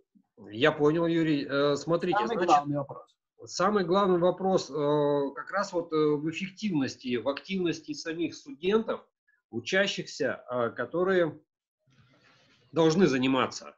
То есть знания тех, кого мы должны проверять. По эффективности программа, ну скажем так, их не сильно обязывает, с какой стороны, нету, скажем так, большого брата в виде преподавателя, который давлеет своим авторитетом. Есть программа, которая, в принципе, как Андрей говорит, это геймплей, э, игровой момент, к которому они уже привыкли. Это сегодняшнее поколение, и мы от этого никуда уже не уйдем. Э, смартфонизация, вот это вот, э, это для нас с вами, для нашего поколения, это источник информации, а для них это проказа. Они сначала видят веселые картинки, а потом уже со временем, может быть, поймут, что это информация, и она должна быть полезной. А на сегодняшний день это для них очень э, легко доступный, э, скажем так, видеообозреватель в кармане, когда они могут им пользоваться бесконтрольно. Мы, взрослые, не можем всегда э, контролировать, каждый раз контролировать мы их не можем. И поэтому Здесь мы можем э, использовать программу и, скажу так, э, онлайн, онлайн контролировать в реальном времени процесс усвоения материала студентам, персонально каждым студентом. Не Главное группы. лицо студент здесь получил прирост, да? Да. А мало того, что мы его можем поправить, это э, при личном контакте либо на электронную почту, либо на э, телефонный звонок э, увести это либо по WhatsApp, либо еще как-то. То есть при личном контакте мы можем ему поправить, сказать, ты вот здесь вот, мало того, он сам видит, индикация прогресса в программе доступна для студента. Он может сам видеть, правильно он сделал, неправильно он сделал, как активно он правильно делает насколько у, него идет усвоение материала, насколько у него происходит практическое применение. А вот Андрей э, не сказал, я, может быть, э, ускорю этот момент. Э, в данной программе есть симулятор. Симулятор работы с автомобилем. Да, он виртуальный, а, но, по крайней мере, подкапотное пространство, моторный отсек и инструмент, который используется при именно диагностических работах с электрооборудованием системы управления двигателя, они позволяют правильно все использовать. По-другому никак. Вот, э, да, кстати, Андрей э, как раз выделил вот этот момент. Вот смотрите, Андрей, можно чуть ниже? В данном случае... Да, вот неисправна проводка, возникает сопротивление в заземлении датчика частоты вращения и датчика температуры. То есть вот это вот подкапотное пространство, э, ну, скажем так, утрированное исполнение комбинации приборов с педалью газа, интерактивное, и система э, диагностики, система управления двигателем. Все приборы, осциллограф, мультиметр, э, возможность подключения блока управления, коммутационный блок. Отлично. То есть человек, который в принципе, в принципе знает основы работы с приборами, с, э, с материалом, с запчастями, а, да, здесь не надо, э, нет э, такой возможности, как, допустим, открутить гайку или еще, или закрутить гайку, да, но она здесь и не нужна. Здесь диагностическое оборудование и именно поиск неисправности в электрооборудовании системы управления двигателем. Андрей нам обещает, что механика с болтами и гаечками будет в следующей версии программы. Хорош, хорошая анимация. Тут можно хорошо имитировать а, и чувствовать э, физику. Да, и да. логику. Логика в действиях должна быть обязательно. Самое интересное то, что преподаватель по всем действиям, результатам работы студента в этом симуляторе видит, правильно ли студент последовательно выполнял свою работу по этому заданию или по какому-то другому. Супер. Андрей, а я этого не видел. Это классная штука. Физика и логика. Простите, Илья, кто вы по должности? Я мастер производственного обучения. То есть вы тот, который стоял все время на ногах возле этого оборудования, вокруг вас стояли вот эти ваши э, студенты, кто-то ну, слушает, скажем кто так, да. Да, да, да. А, кто-то понял, кто-то не понял, время закончилось, звонок, э, урок, э, занятие закончилось, и все. Правильно? Да, да, да. А да. тут он сосредоточен только на своей задаче. Да, и за спиной никто не стоит. И он один на один с компьютером, один на один с, с задачей, и задачу надо решить. Угу. Да и головой туда, в этот под капот э, залезет немного людей, что вы там руками делаете. Правильно? Ну а да, это... группа 25 человек. Все правильно, все правильно. И они ничего не увидят. А здесь Все каждый правильно. увидит. Хорошо. Спасибо, пожалуйста, не уходите. Владимир Сизов э, из Краснодара. Э, какой-то колледж КМСК пишет. Видите, Андрей, вопросы? Про, прочитайте, пожалуйста, прокомментируйте. Так, мы уже третий раз попадаем на бесплатную раздачу программы. Готовили около 100 студентов, студентам нравится. Участвовали в прошлом году в соревнованиях в МАДИ, да, мы проводили, мы проводили, э, у нас есть такой проект, это сервис Мастер Junior. Э, значит, участвовали в прошлом году в Московском автомобильном дорожном институте в соревнованиях. Минобразование не желает покупать эту программу, предлагают нашу отечественную Академию Медиа. Э, так, ну, это скорее не вопрос, вопрос, это, скорее всего, комментарий. Mm-hmm. На самом деле, я скажу так, с Министерством образования, высшего образования и науки, с Министерством просвещения мы письма соответствующие написали, от Министерства обрнауки получили ответ, систему должны рекомендовать для профильных технических вузов, по крайней мере, обещали так, э, ждем официальный уже ответ от них. Э, насчет Минпросвещения, коллеги, пока есть проблема, мы не можем дозвониться уже на протяжении месяца до ответственного лица, которого назначили от Минпросвещения обучения. А, письмо написано, есть резолюция, как бы пока ответа не получили, поэтому не могу сказать, в чем препятствие или так далее. На самом деле здесь намного все проще. Ну, есть уже учреждения, их немало, которые дали обоснование. Вот у нас Сургутский политехнический колледж сейчас приобретает систему уже который раз. Вот, а, вот пример, Илья Урюпин то же самое смогли дать обоснование и так далее.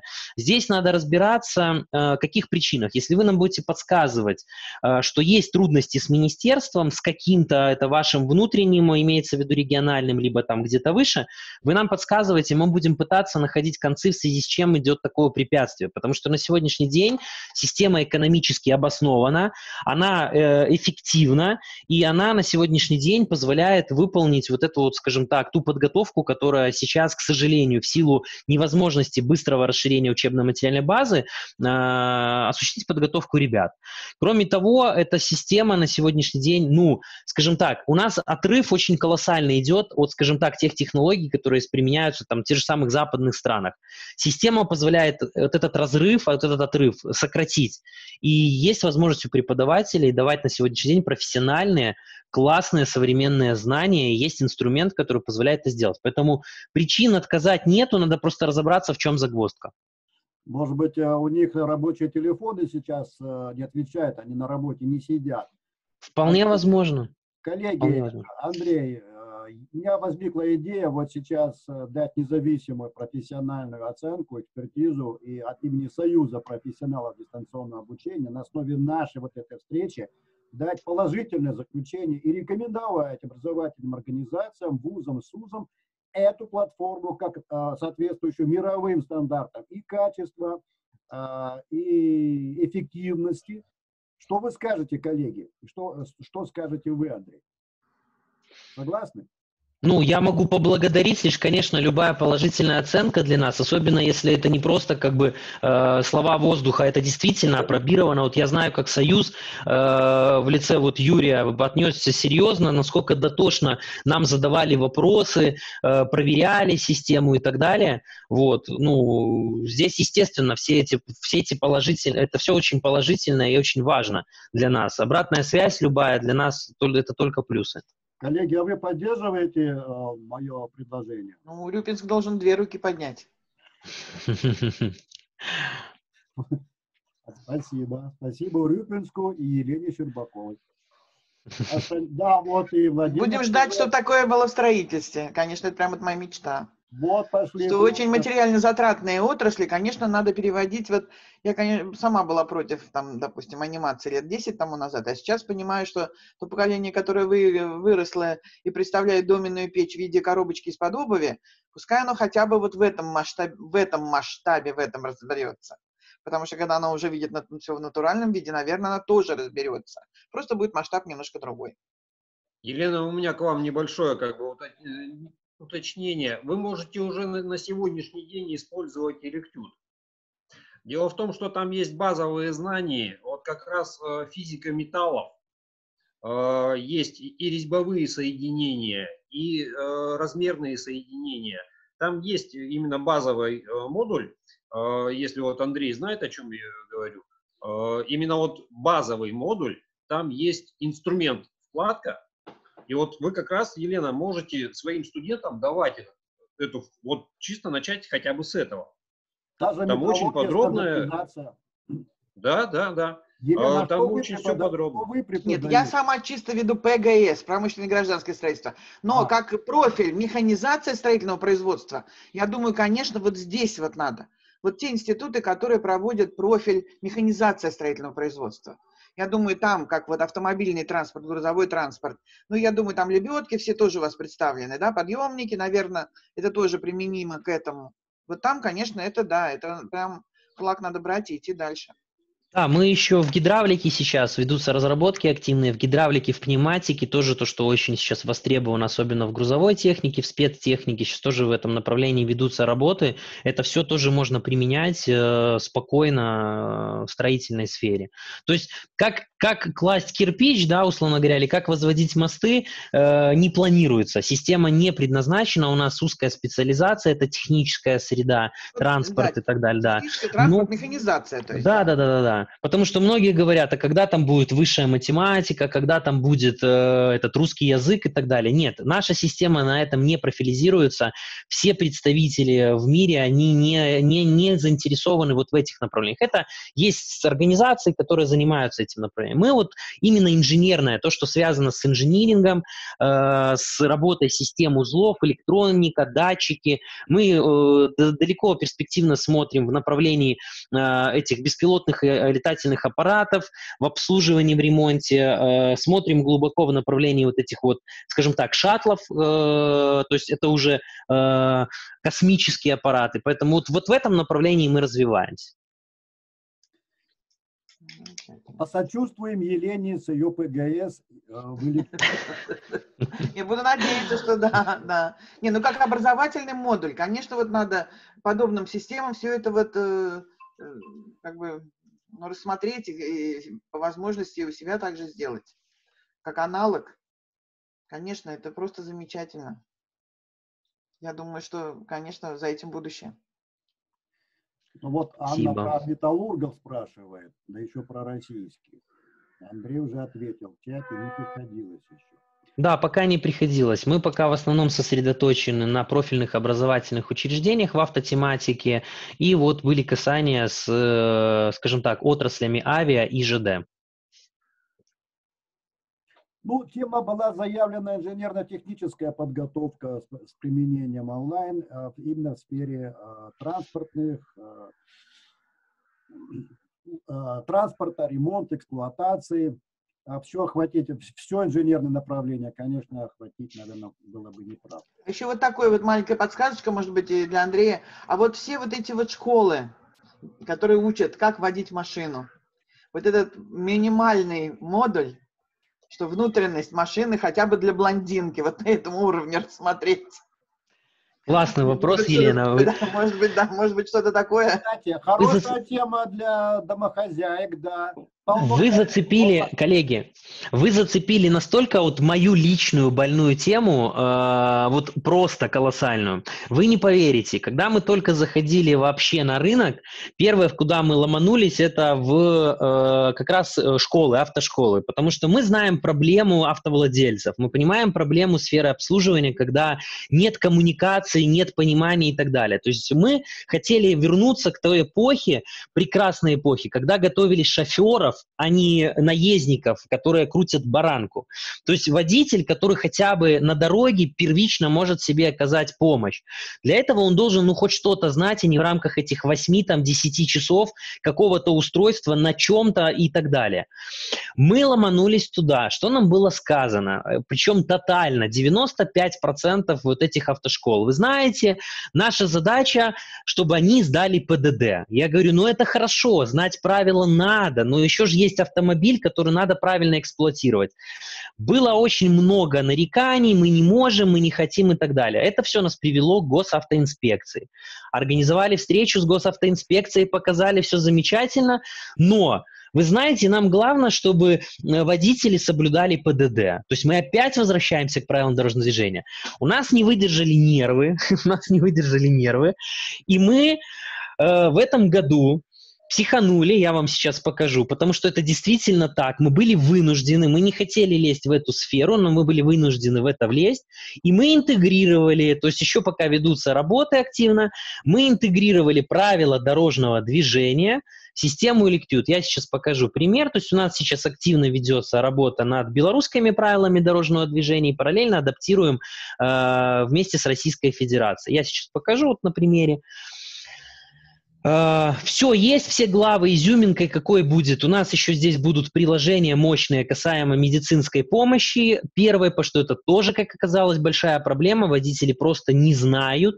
Водители не знают, не боятся как... в аптечку заглядывать даже. Абсолютно верное предназначение. Соответственно, у нас здесь будет э, сделан упор на юридические аспекты, то есть, грубо говоря, э, как, какие взаимоотношения, правила, трудности и так далее. То есть мы тут в данной ситуации мы сейчас реализуем всякие творческие мысли. Где-то графика профессиональная, графическая имеется в виду реальности, а где-то мы взяли просто анимацию детскую, мультяшную для того, чтобы вовлечь в процесс и молодежь. Потому что мы прекрасно понимаем, что УПК не умерла, оно есть еще где-то, и ребятам, детям в возрасте там 9-10 класс уже можно давать и ПДД в комплексе с устройством автомобиля, транспорта и так далее. Поэтому, соответственно, мы интегрируем, э, интегрировали учебное содержание и сейчас занимаемся разработкой вот этой геймификации, интерактивности учебного содержания и материала. Поэтому это как бы такой финальный гол, финальный гол для того, чтобы прийти и сказать, ребята, давайте мы организуем, потому что есть инвалиды, которые, к сожалению, не могут, они могут водить транспортное средство, но они не могут посещать эти автошколы. Есть прекрасный пример, это Испания, в которой перешли на дистанционные формы обучения правилам дорожного движения, и эффективность, эффективность, то есть качество э, знаний э, водителей выросло в разы за счет того, что люди начали сами заниматься, изучать этот материал. То есть практика остается только очная, где уже учат вождению, эксплуатацию машины. Но правила дорожного движения и устройства изучаются удаленно. Вот мы к этому направлению двигаемся очень скоро, очень скоро э, это завершится и будет возможность уже образовательным учреждениям, которые используют систему Electute, э, и у которых есть свои автошколы, уже можно будет э, интегрировать да, и вот это вот модули правил дорожного движения. И Я надеюсь, что... И плюс еще большой класс блондинок. Абсолютно верно, очень легко, анимировано, доступно, понятно, потому что, э, честно признаюсь, у нас разрабатывают девочки э, активно именно правила дорожного движения, а некоторые сейчас учатся в автошколе, соответственно, они, исходя из своих замечаний и непониманий, дополняют перечень вопросов, то есть что, с чем они столкнулись в ходе изучения материала. Поэтому, да, мы делаем так, чтобы было понятно всем, начиная от школьника, заканчивая, ну, скажем так, не некоторым э, женского пола дамам, которые, ну, хотя бы надо приблизительно понятно понимать, как это работает доступно, да?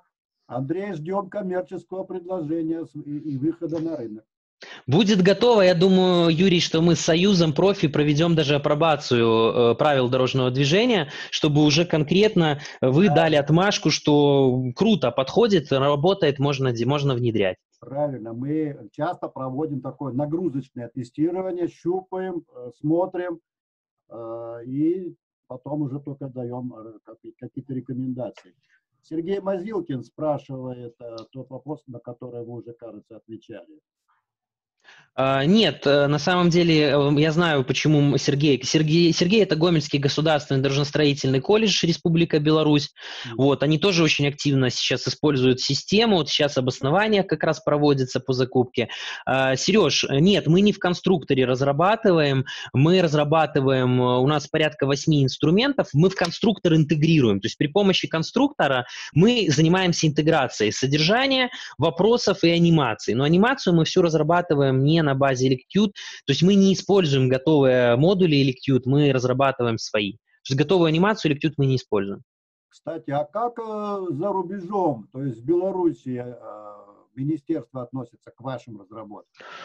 Э, вы знаете, э, несмотря на то, что в Беларуси система быстрее попала, чем в Российскую Федерацию, фора была порядка 7 месяцев, вот, э, в Российской Федера... Ой, в Республике Беларусь сейчас с Министерством образования ведется апробация. То есть ведущий вуз, университет, Белорусский национальный технический университет, собственно, завтра уже будет с деканом ведущего факультета в стране встреча по этому поводу. Они дали положительный отзыв по требованию министерства о том, возможно ли адаптация программы обучения под ГОС и внедрения. Соответственно, ну, диалог есть, проблемы тоже существуют, но диалог открыт, есть, и здесь уже, скажем так, более э, гибкие взаимоотношения.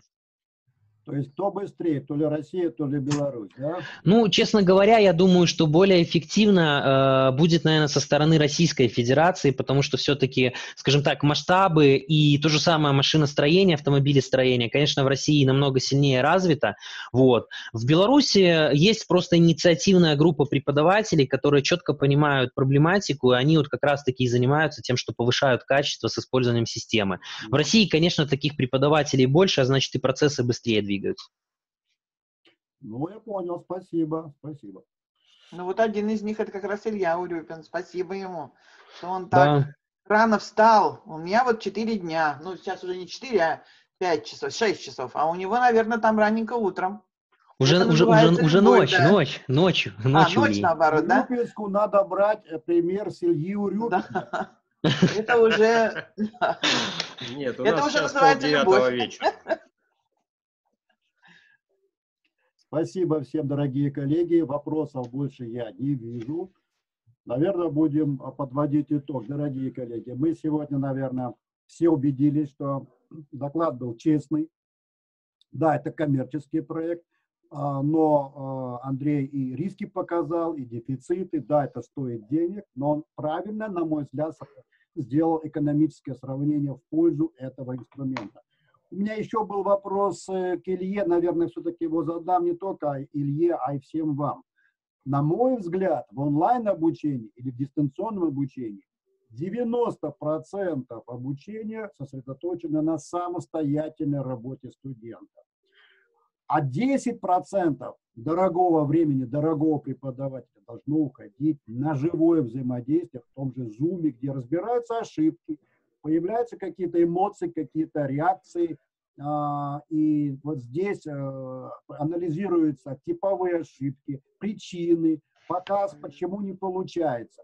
Я, возможно, заблуждаюсь, но в реальности я вижу совершенно противоположную ситуацию. 90% занятий в онлайн проходят синхронно, все встречаются в одно и то же время, в семье один компьютер на всех не хватает, и получается э, некачественно. Вы видите, сколько много жалоб. Кстати, это не только в России происходит, но и в Турции, в Германии. Внимательно слежу.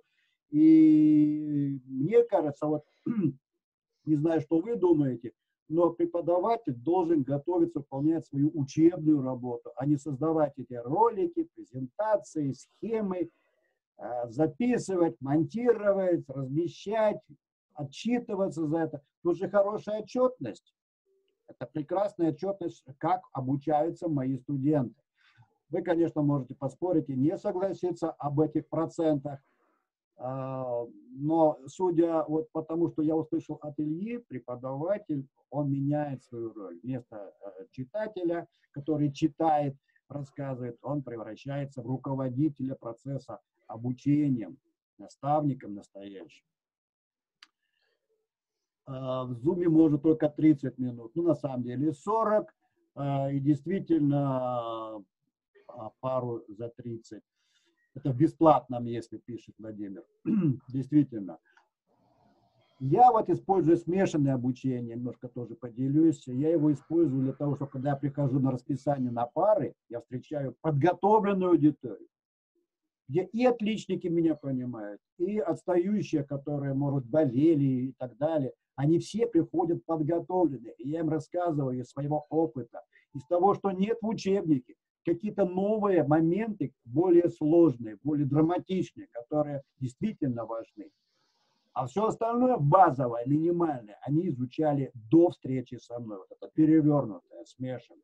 И вот сегодняшний пример Лекют как раз очень хорошо э, этот перевернутый момент показывает, когда все выравниваются на какой-то минимум, с которым можно работать, идти дальше.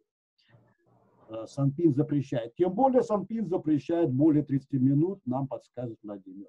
Проводите занятия, консультирование, разбор ошибок за 20 минут. У вас уже есть вся начинка, вы видите, что делает каждый. Вы можете э, увидеть, э, в чем они чаще всего спотыкаются. И для себя сделать вывод, на это обратить внимание дополнительно. Большое вам спасибо.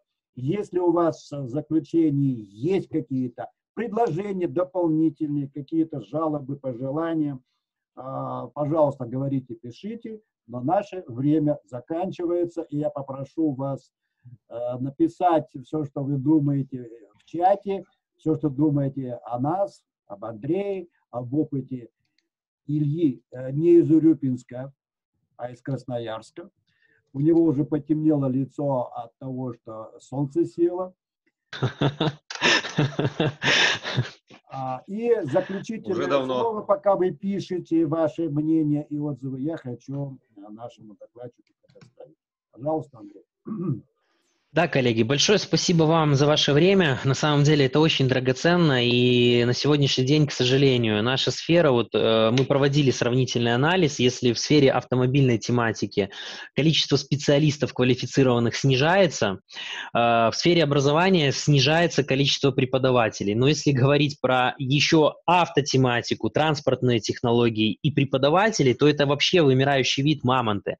Соответственно, сейчас очень тяжело преподавателям, вот, скажем так, не имея инструментария для организации процессов, дать качественно, эффективно, мощно вот это обучение. Поэтому, естественно, молодежь э, снижает вот этот интерес в отрасли. Вот те преподаватели, которые участвуют в подобных мероприятиях, по ночам то же самое, развиваются, вам э, просто творческой, творческой инициативы не терять хватку, очень много впереди интересного, мощного, давайте развиваться, давайте вместе друг другу помогать, и э, успехов вам в том, чтобы ваши учащиеся всегда были заинтересованы в ваших знаниях. Спасибо, Андрей, спасибо, коллеги. Мы тут еще э, находимся, побудем в эфире, пока вы еще пишете. Э, к сожалению, я не услышал, что думает о нас Евгений Рашап. Э, может быть, он что-то от нас скрывает свое истинное мнение. Я хотел бы услышать. Скрывать-то нам нечего, просто мы немножко подключились и столкнулись э, с проблемой с другого э, совершенно конца. Э, подготовка студентов, э, как бы профессионалов, это очень хорошо. Реальность, в которой мы оказываемся в, э, в области обслуживания транспортных средств уже живых, она немножко отличается от планов, и мы сталкиваемся с тем, что э, в эту сферу обслуживания, ремонта, где люди как бы должны использовать эти знания, практику и навыки, э, которые они получают в учебных заведениях, их попадает где-то меньше 2% на непосредственно э, работу. Это одна ступенька. Следующая ступенька, к сожалению, с которой мы реально сталкиваемся в реальной жизни по той же теме обслуживания транспортных средств, заключается в том, что очень низкий уровень тех, кто работает. Это вроде бы связанные вещи, потому что те, кто учился, они не попадают на работу, а на работе, в реальной работе оказываются совершенно те, кто э, не то что не учился, а он даже понятия не имеет об основах.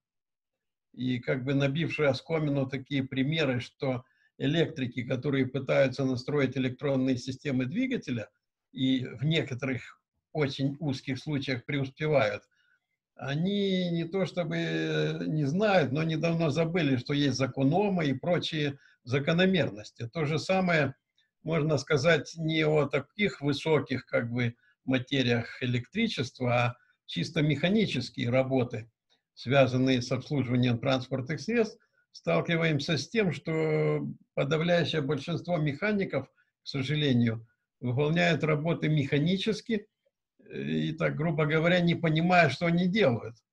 А понимать им это мешает отсутствие полной знаний. Эти знания, они как бы вытекают из голов, и поэтому есть огромная необходимость эти звания, знания постоянно не, то, что, не только пополнять, а обновлять. И практика, вот наши коллеги э, в России и в Белоруссии, когда начали это использовать, они столкнулись с тем, что владельцы этого как бы э, сферы, это обслуживание, они вот с удивлением обнаружили вот эти вот явления, что э, навороченные механики, спецы, они не знают основ, поэтому от них э, ожидать, что они будут квалифицированно выполнять свою работу, то есть э, для подавляющего большинства населения, которое бы хотело иметь хорошие автомобили, вдруг появляется такой результат, что эти спецы, они гробят, грубо говоря, то, что есть, какие автомобили. В результате возникает массовое недовольство взаимное – Человек владеет автомобилем, ему негде этот автомобиль починить. Тот, кто чинит, он сталкивается с, мягко говоря, недовольством владельца автомобиля. Что я вроде пользовался автомобилем, приехал к вам на обслуживание, после этого автомобиль начал там хрюкать, чихать и не едет.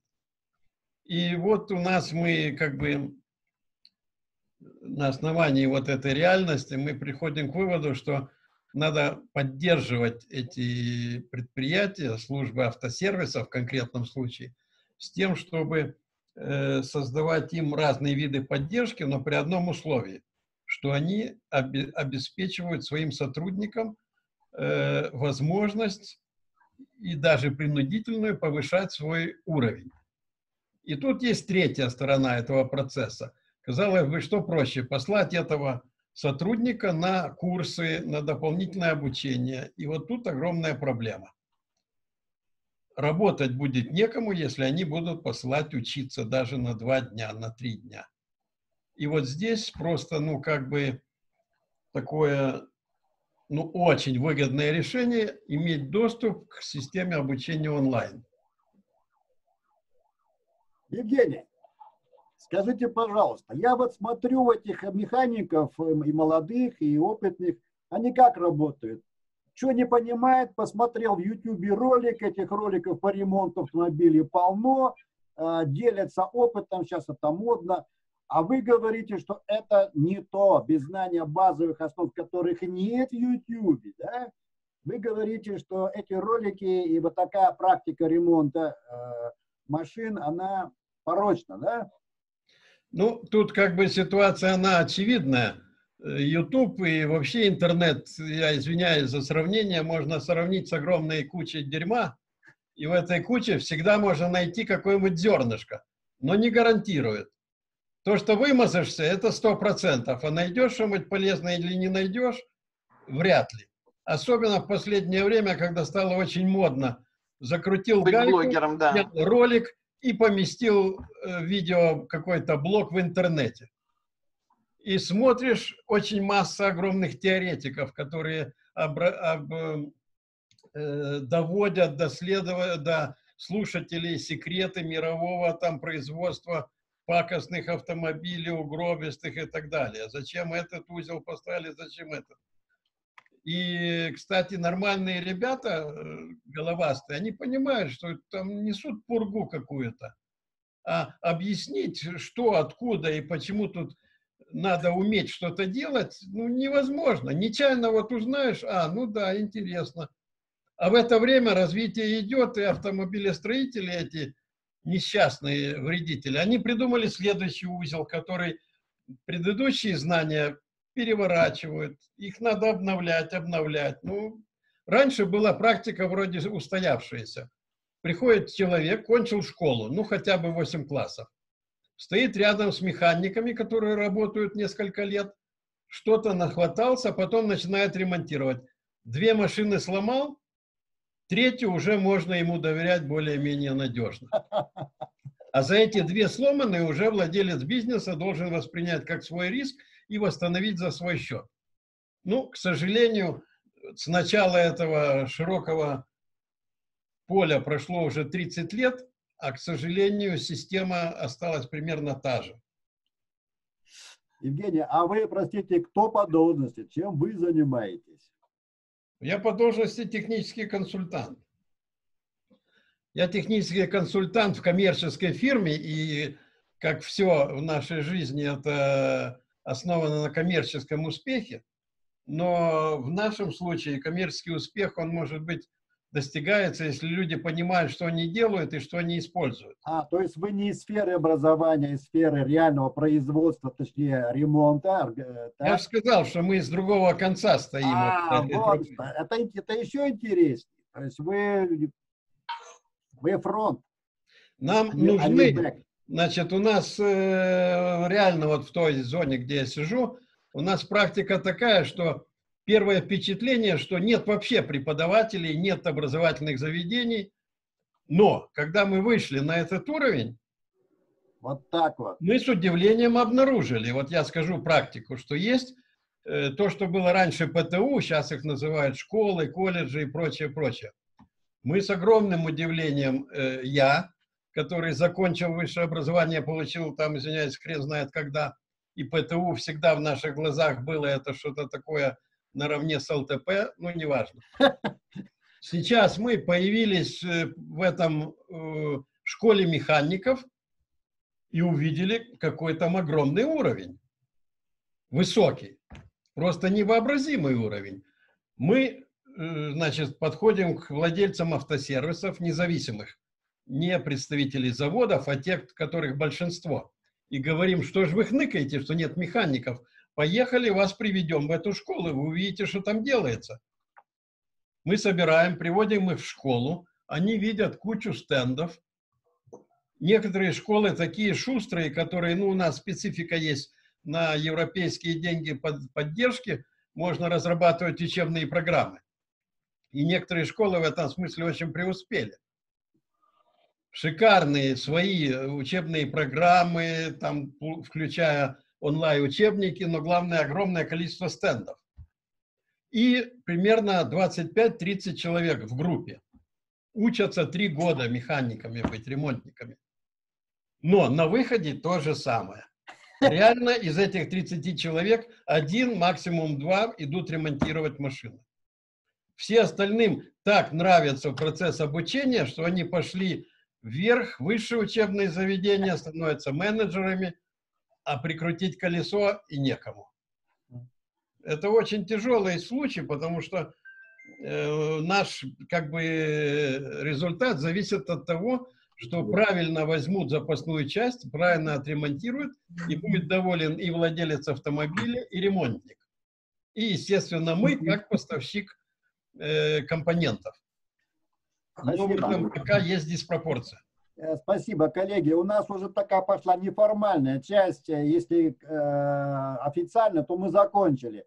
Э, и просто как это бывает на конференциях, в кулуарах происходит такое вот свободное обсуждение. Вот мне кажется, Илья что-то хочет э, добавить э, к тому, что сказал Евгений. Правильно? Да, я как раз вот э, хотел немножечко, может быть, добавить э, Евгения. А в каком плане? А Андрей э, в курсе э, вообще моей истории, откуда я появился в образовании – он знает, э, что я 12 лет отремонтировал автомобили в сервисных центрах. Специфика ремонта у меня была электросистема автомобиля непосредственно. Успел поработать и с азиатами, и с европейцами за эти 12 лет. И свои автомобили ремонтировал собственными руками. И столкнулся с тем, что на предприятие приходят совершенно неподготовленные люди. Люди, которые не знают, зачем вообще они в ремонте. Случилось удачное предложение, но оно случилось со стороны именно движения WorldSkills. А, меня попросили в учебное учреждение, как раз вот где хромала подготовка по электросистемам автомобиля, по электрооборудованию. Я решил попробовать. Образование позволяет, инженер-конструктор, закончил и сам учился в техникуме до армии закончил э, вычислительную технику, вот как раз э, профиль Андрея, но только э, низкий уровень обслуживания и эксплуатации вычислительной техники в Красноярске у нас. И закончил автотранспортный э, факультет э, Сибирского федерального университета э, по структуре э, инженер-конструктор автомобиля тракторостроения. Вот э, с, этой, с этими базовыми знаниями, с опытом работы с 95 -го года в электросистемах и э, в ремонте автомобиля э, пришел в учебное учреждение, в котором столкнулся, ну, скажем так, с уровнем э, студентов, которые приходят учиться по эту, на эту специальность. Большинство людей – это категория, кого мама отправила, чтобы он дома не слонялся чтобы он дома не слонялся, чтобы он по углам, по дворам не, не ходил, не собирал всякую ерунду. И да, действительно, как сказал Евгений, чаще всего, вот я еще раз говорю про смартфоны, э, мальчишки, они э, падки на технику, ну, с какой-то стороны. А с другой стороны, они не умеют правильно создавать запрос. Их и никто этому не научил. Для того, чтобы, как говорит Евгений, найти ту изюминку, то золотое зерно в YouTube, надо знать. Нужны базовые знания для того, чтобы правильно создать вопрос, то, что ты хочешь узнать. Чаще всего они это не умеют. Наша задача их этому научить. Как правильно формулировать свои мысли.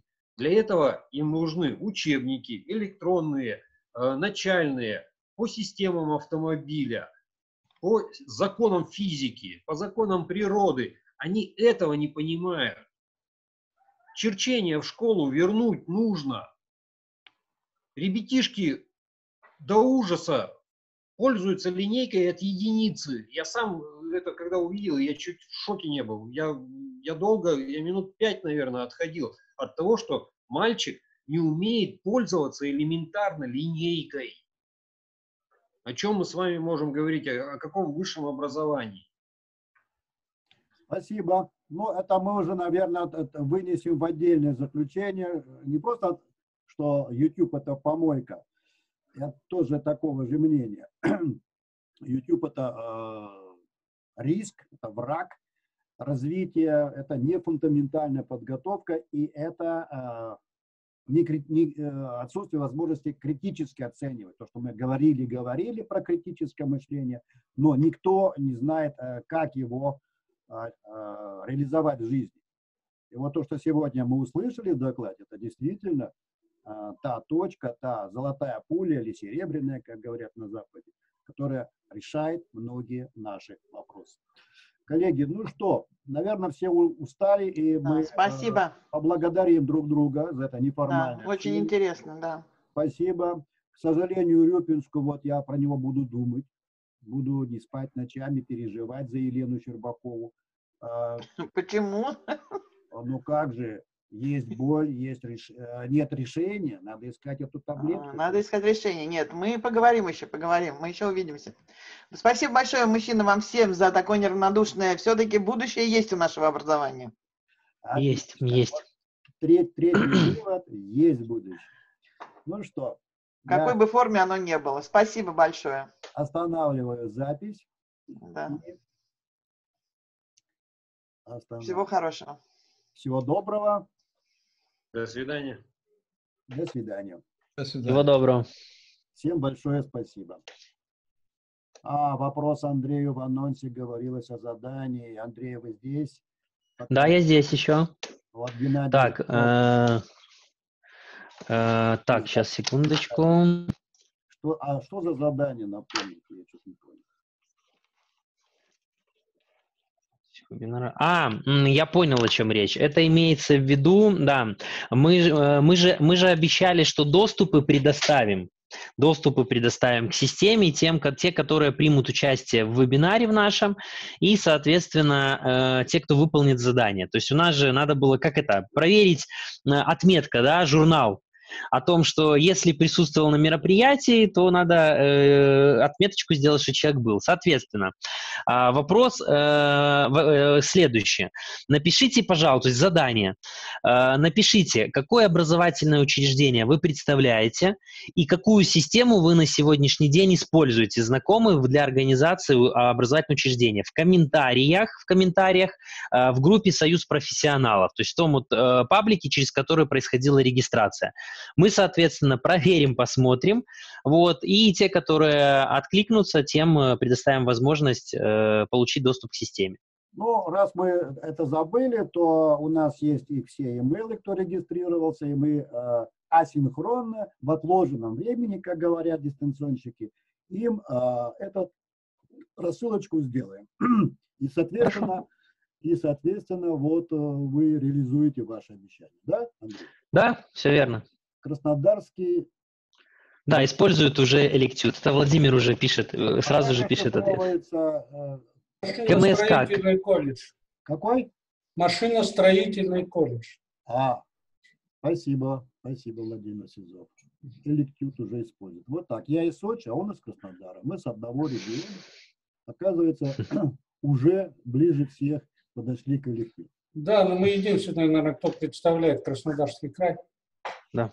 Но Все верно. А Краснодарский и Красноярский. Вот так. И Красноярский. Да. ТТ это что? Это а, колледж технологий. Транспорт. техникум транспорта и сервиса. Транспорта, извините, понятно. Ну, вот уже два колледжа. Два наших красных лидера в России. Краснодар и Красноярск. Спасибо. Спасибо, было все очень хорошо, замечательно. Конечно, у нас еще железнодорожники есть, хотелось бы, мы для них базу ищем.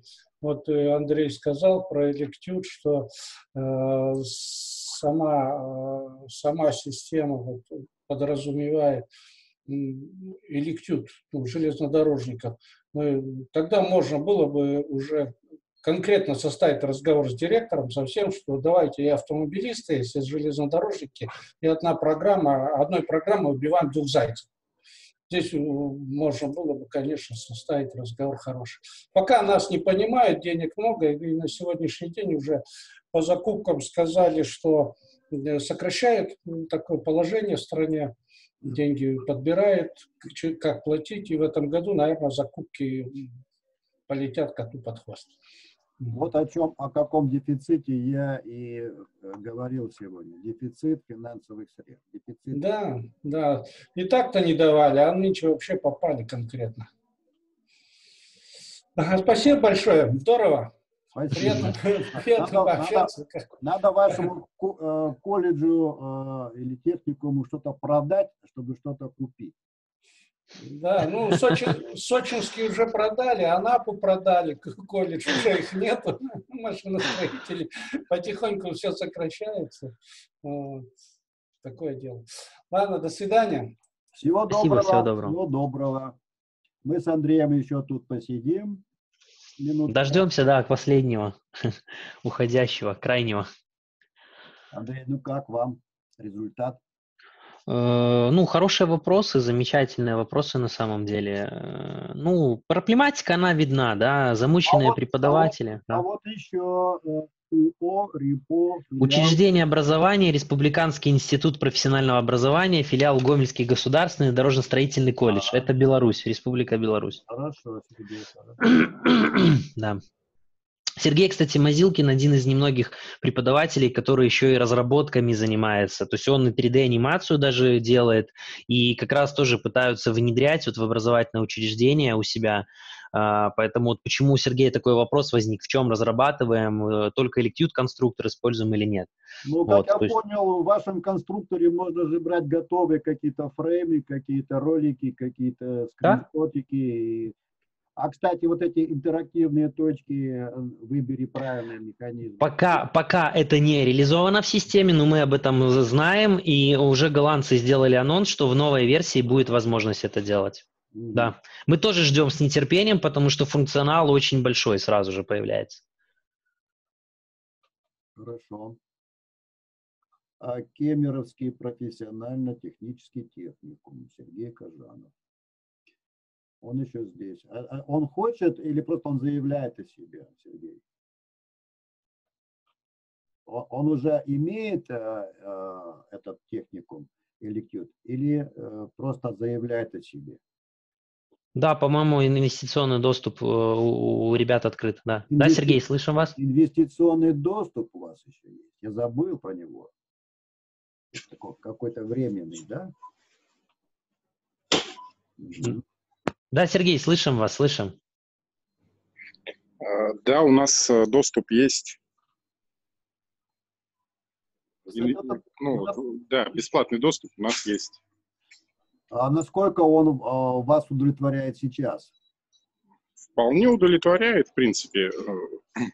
То есть вы уже в учебном процессе используете, да? Да, да.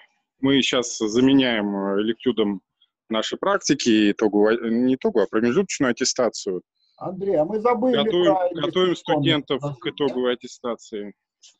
Мы предложили, значит, в письме, Андрей, нам надо вот этот момент тоже устранить. Два момента мы пропустили, но ничего страшного, про инвестиционный доступ. И в группе тоже.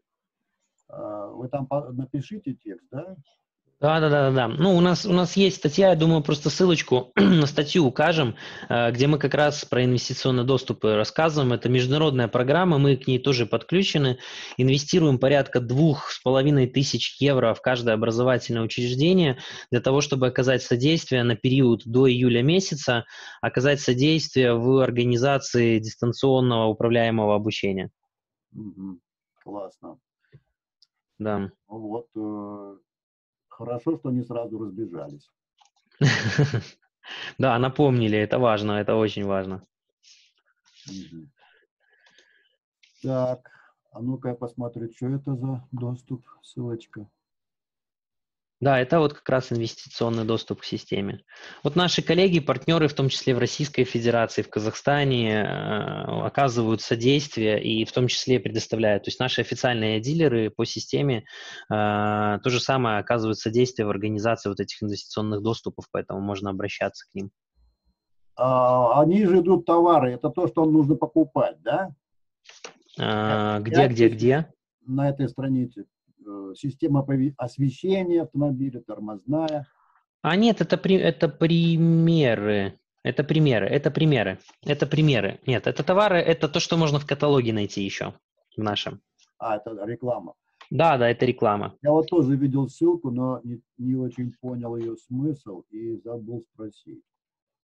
То есть вы бесплатно всем подряд, да? Э, нет, только образовательным учреждениям государственным, коммерческие организации, к сожалению, не имеют такой возможности, только государственные образовательные учреждения в период с апреля месяца по июнь месяц могут получить инвестиции от нашего центра и оборудовать доступ к системе Lectute сроком на 3 месяца и 20 ученических доступов. Э, ну вот это, что вы говорите, я не вижу в тексте.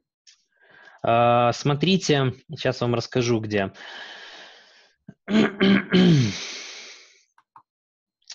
Так. Про государственные, про государственные тут не говорится. Ну, правда, я не знаю, кто у нас частные колледжи готовят транспортников. Не, есть, есть коммерческие учебные центры, мы с ними взаимодействуем, работаем, они в курсе как бы проинформированы, да, они проинформированы. Хорошо, здорово. Вот, вот это вот э, социальная поддержка. Ну, конечно, тут и маркетинговый ход, но это большой вопрос. И вот э, уже кто-то использует. Хорошо. Так, Диана, Дарья, Ольга, вы нас слышите? Или вы, или вы уже ушли? Не, мы вас слушаем. Вы студентка? Да. Опа, я, я угадал. Ну и как, да. вам, и как вам понравилось вот это все? Да, все нравится, все понятно. А вы связаны с транспортом, с технологиями? Не, я из сферы культуры. А как вам, э, э, как вам, э, как вас к нам занесло? Мы, мы рады вас видеть, точнее слышать, но как вы здесь оказались? Не стесняйтесь, Диана, можете смело признаваться. Это наш сотрудник. Это, кстати, это наш сотрудник нашего центра из отдела А-а-а. разработок. Как раз-таки А-а-а. это вот э, Диана и Дарья у нас участвуют А-а-а. в разработках правил дорожного движения, поэтому они в том числе послушали, куда. Вот я думаю, им сейчас как раз наглядно было понятно, э, какая потребность есть в том проекте, в котором они сейчас участвуют. Я понял, понял. А Ольга Молотилова? Ольга Молотилова, технический переводчик нашего центра. А, вот что, вот что. Думаю, откуда тут девочки. Хотя я видел, когда и фрезеровщицы есть, и а токарные, фрезеровочные тоже. Э, это, кстати, вот, это, кстати, команда, как раз наша молодая команда, которая сейчас очень активна, они как раз вот проблематику сейчас изучают плотно, вот эти коммуникации, мероприятия, то есть, ну, ребята понимают, э, вот это, кстати, кстати, действующие, есть действующие студенты, есть уже выпускники, которые вот по-свежему сейчас могут сравнить, э, вот в таких мероприятиях могут сравнить, как у них проходил процесс обучения, насколько он изменился для студентов тех учреждений, которые используют как раз систему. Поэтому вот, да. Ну все, теперь все выяснили. Да. даже выяснили то, что э, не выяснили. Хорошо. Основное время. Все, тогда будем завершать наше мероприятие. Да, давайте отдохнем. Отключаемся. Да. Отключаемся. Всего доброго. До свидания. Все, всем пока-пока. Спасибо, что присутствовали с нами. До свидания. Спасибо вам.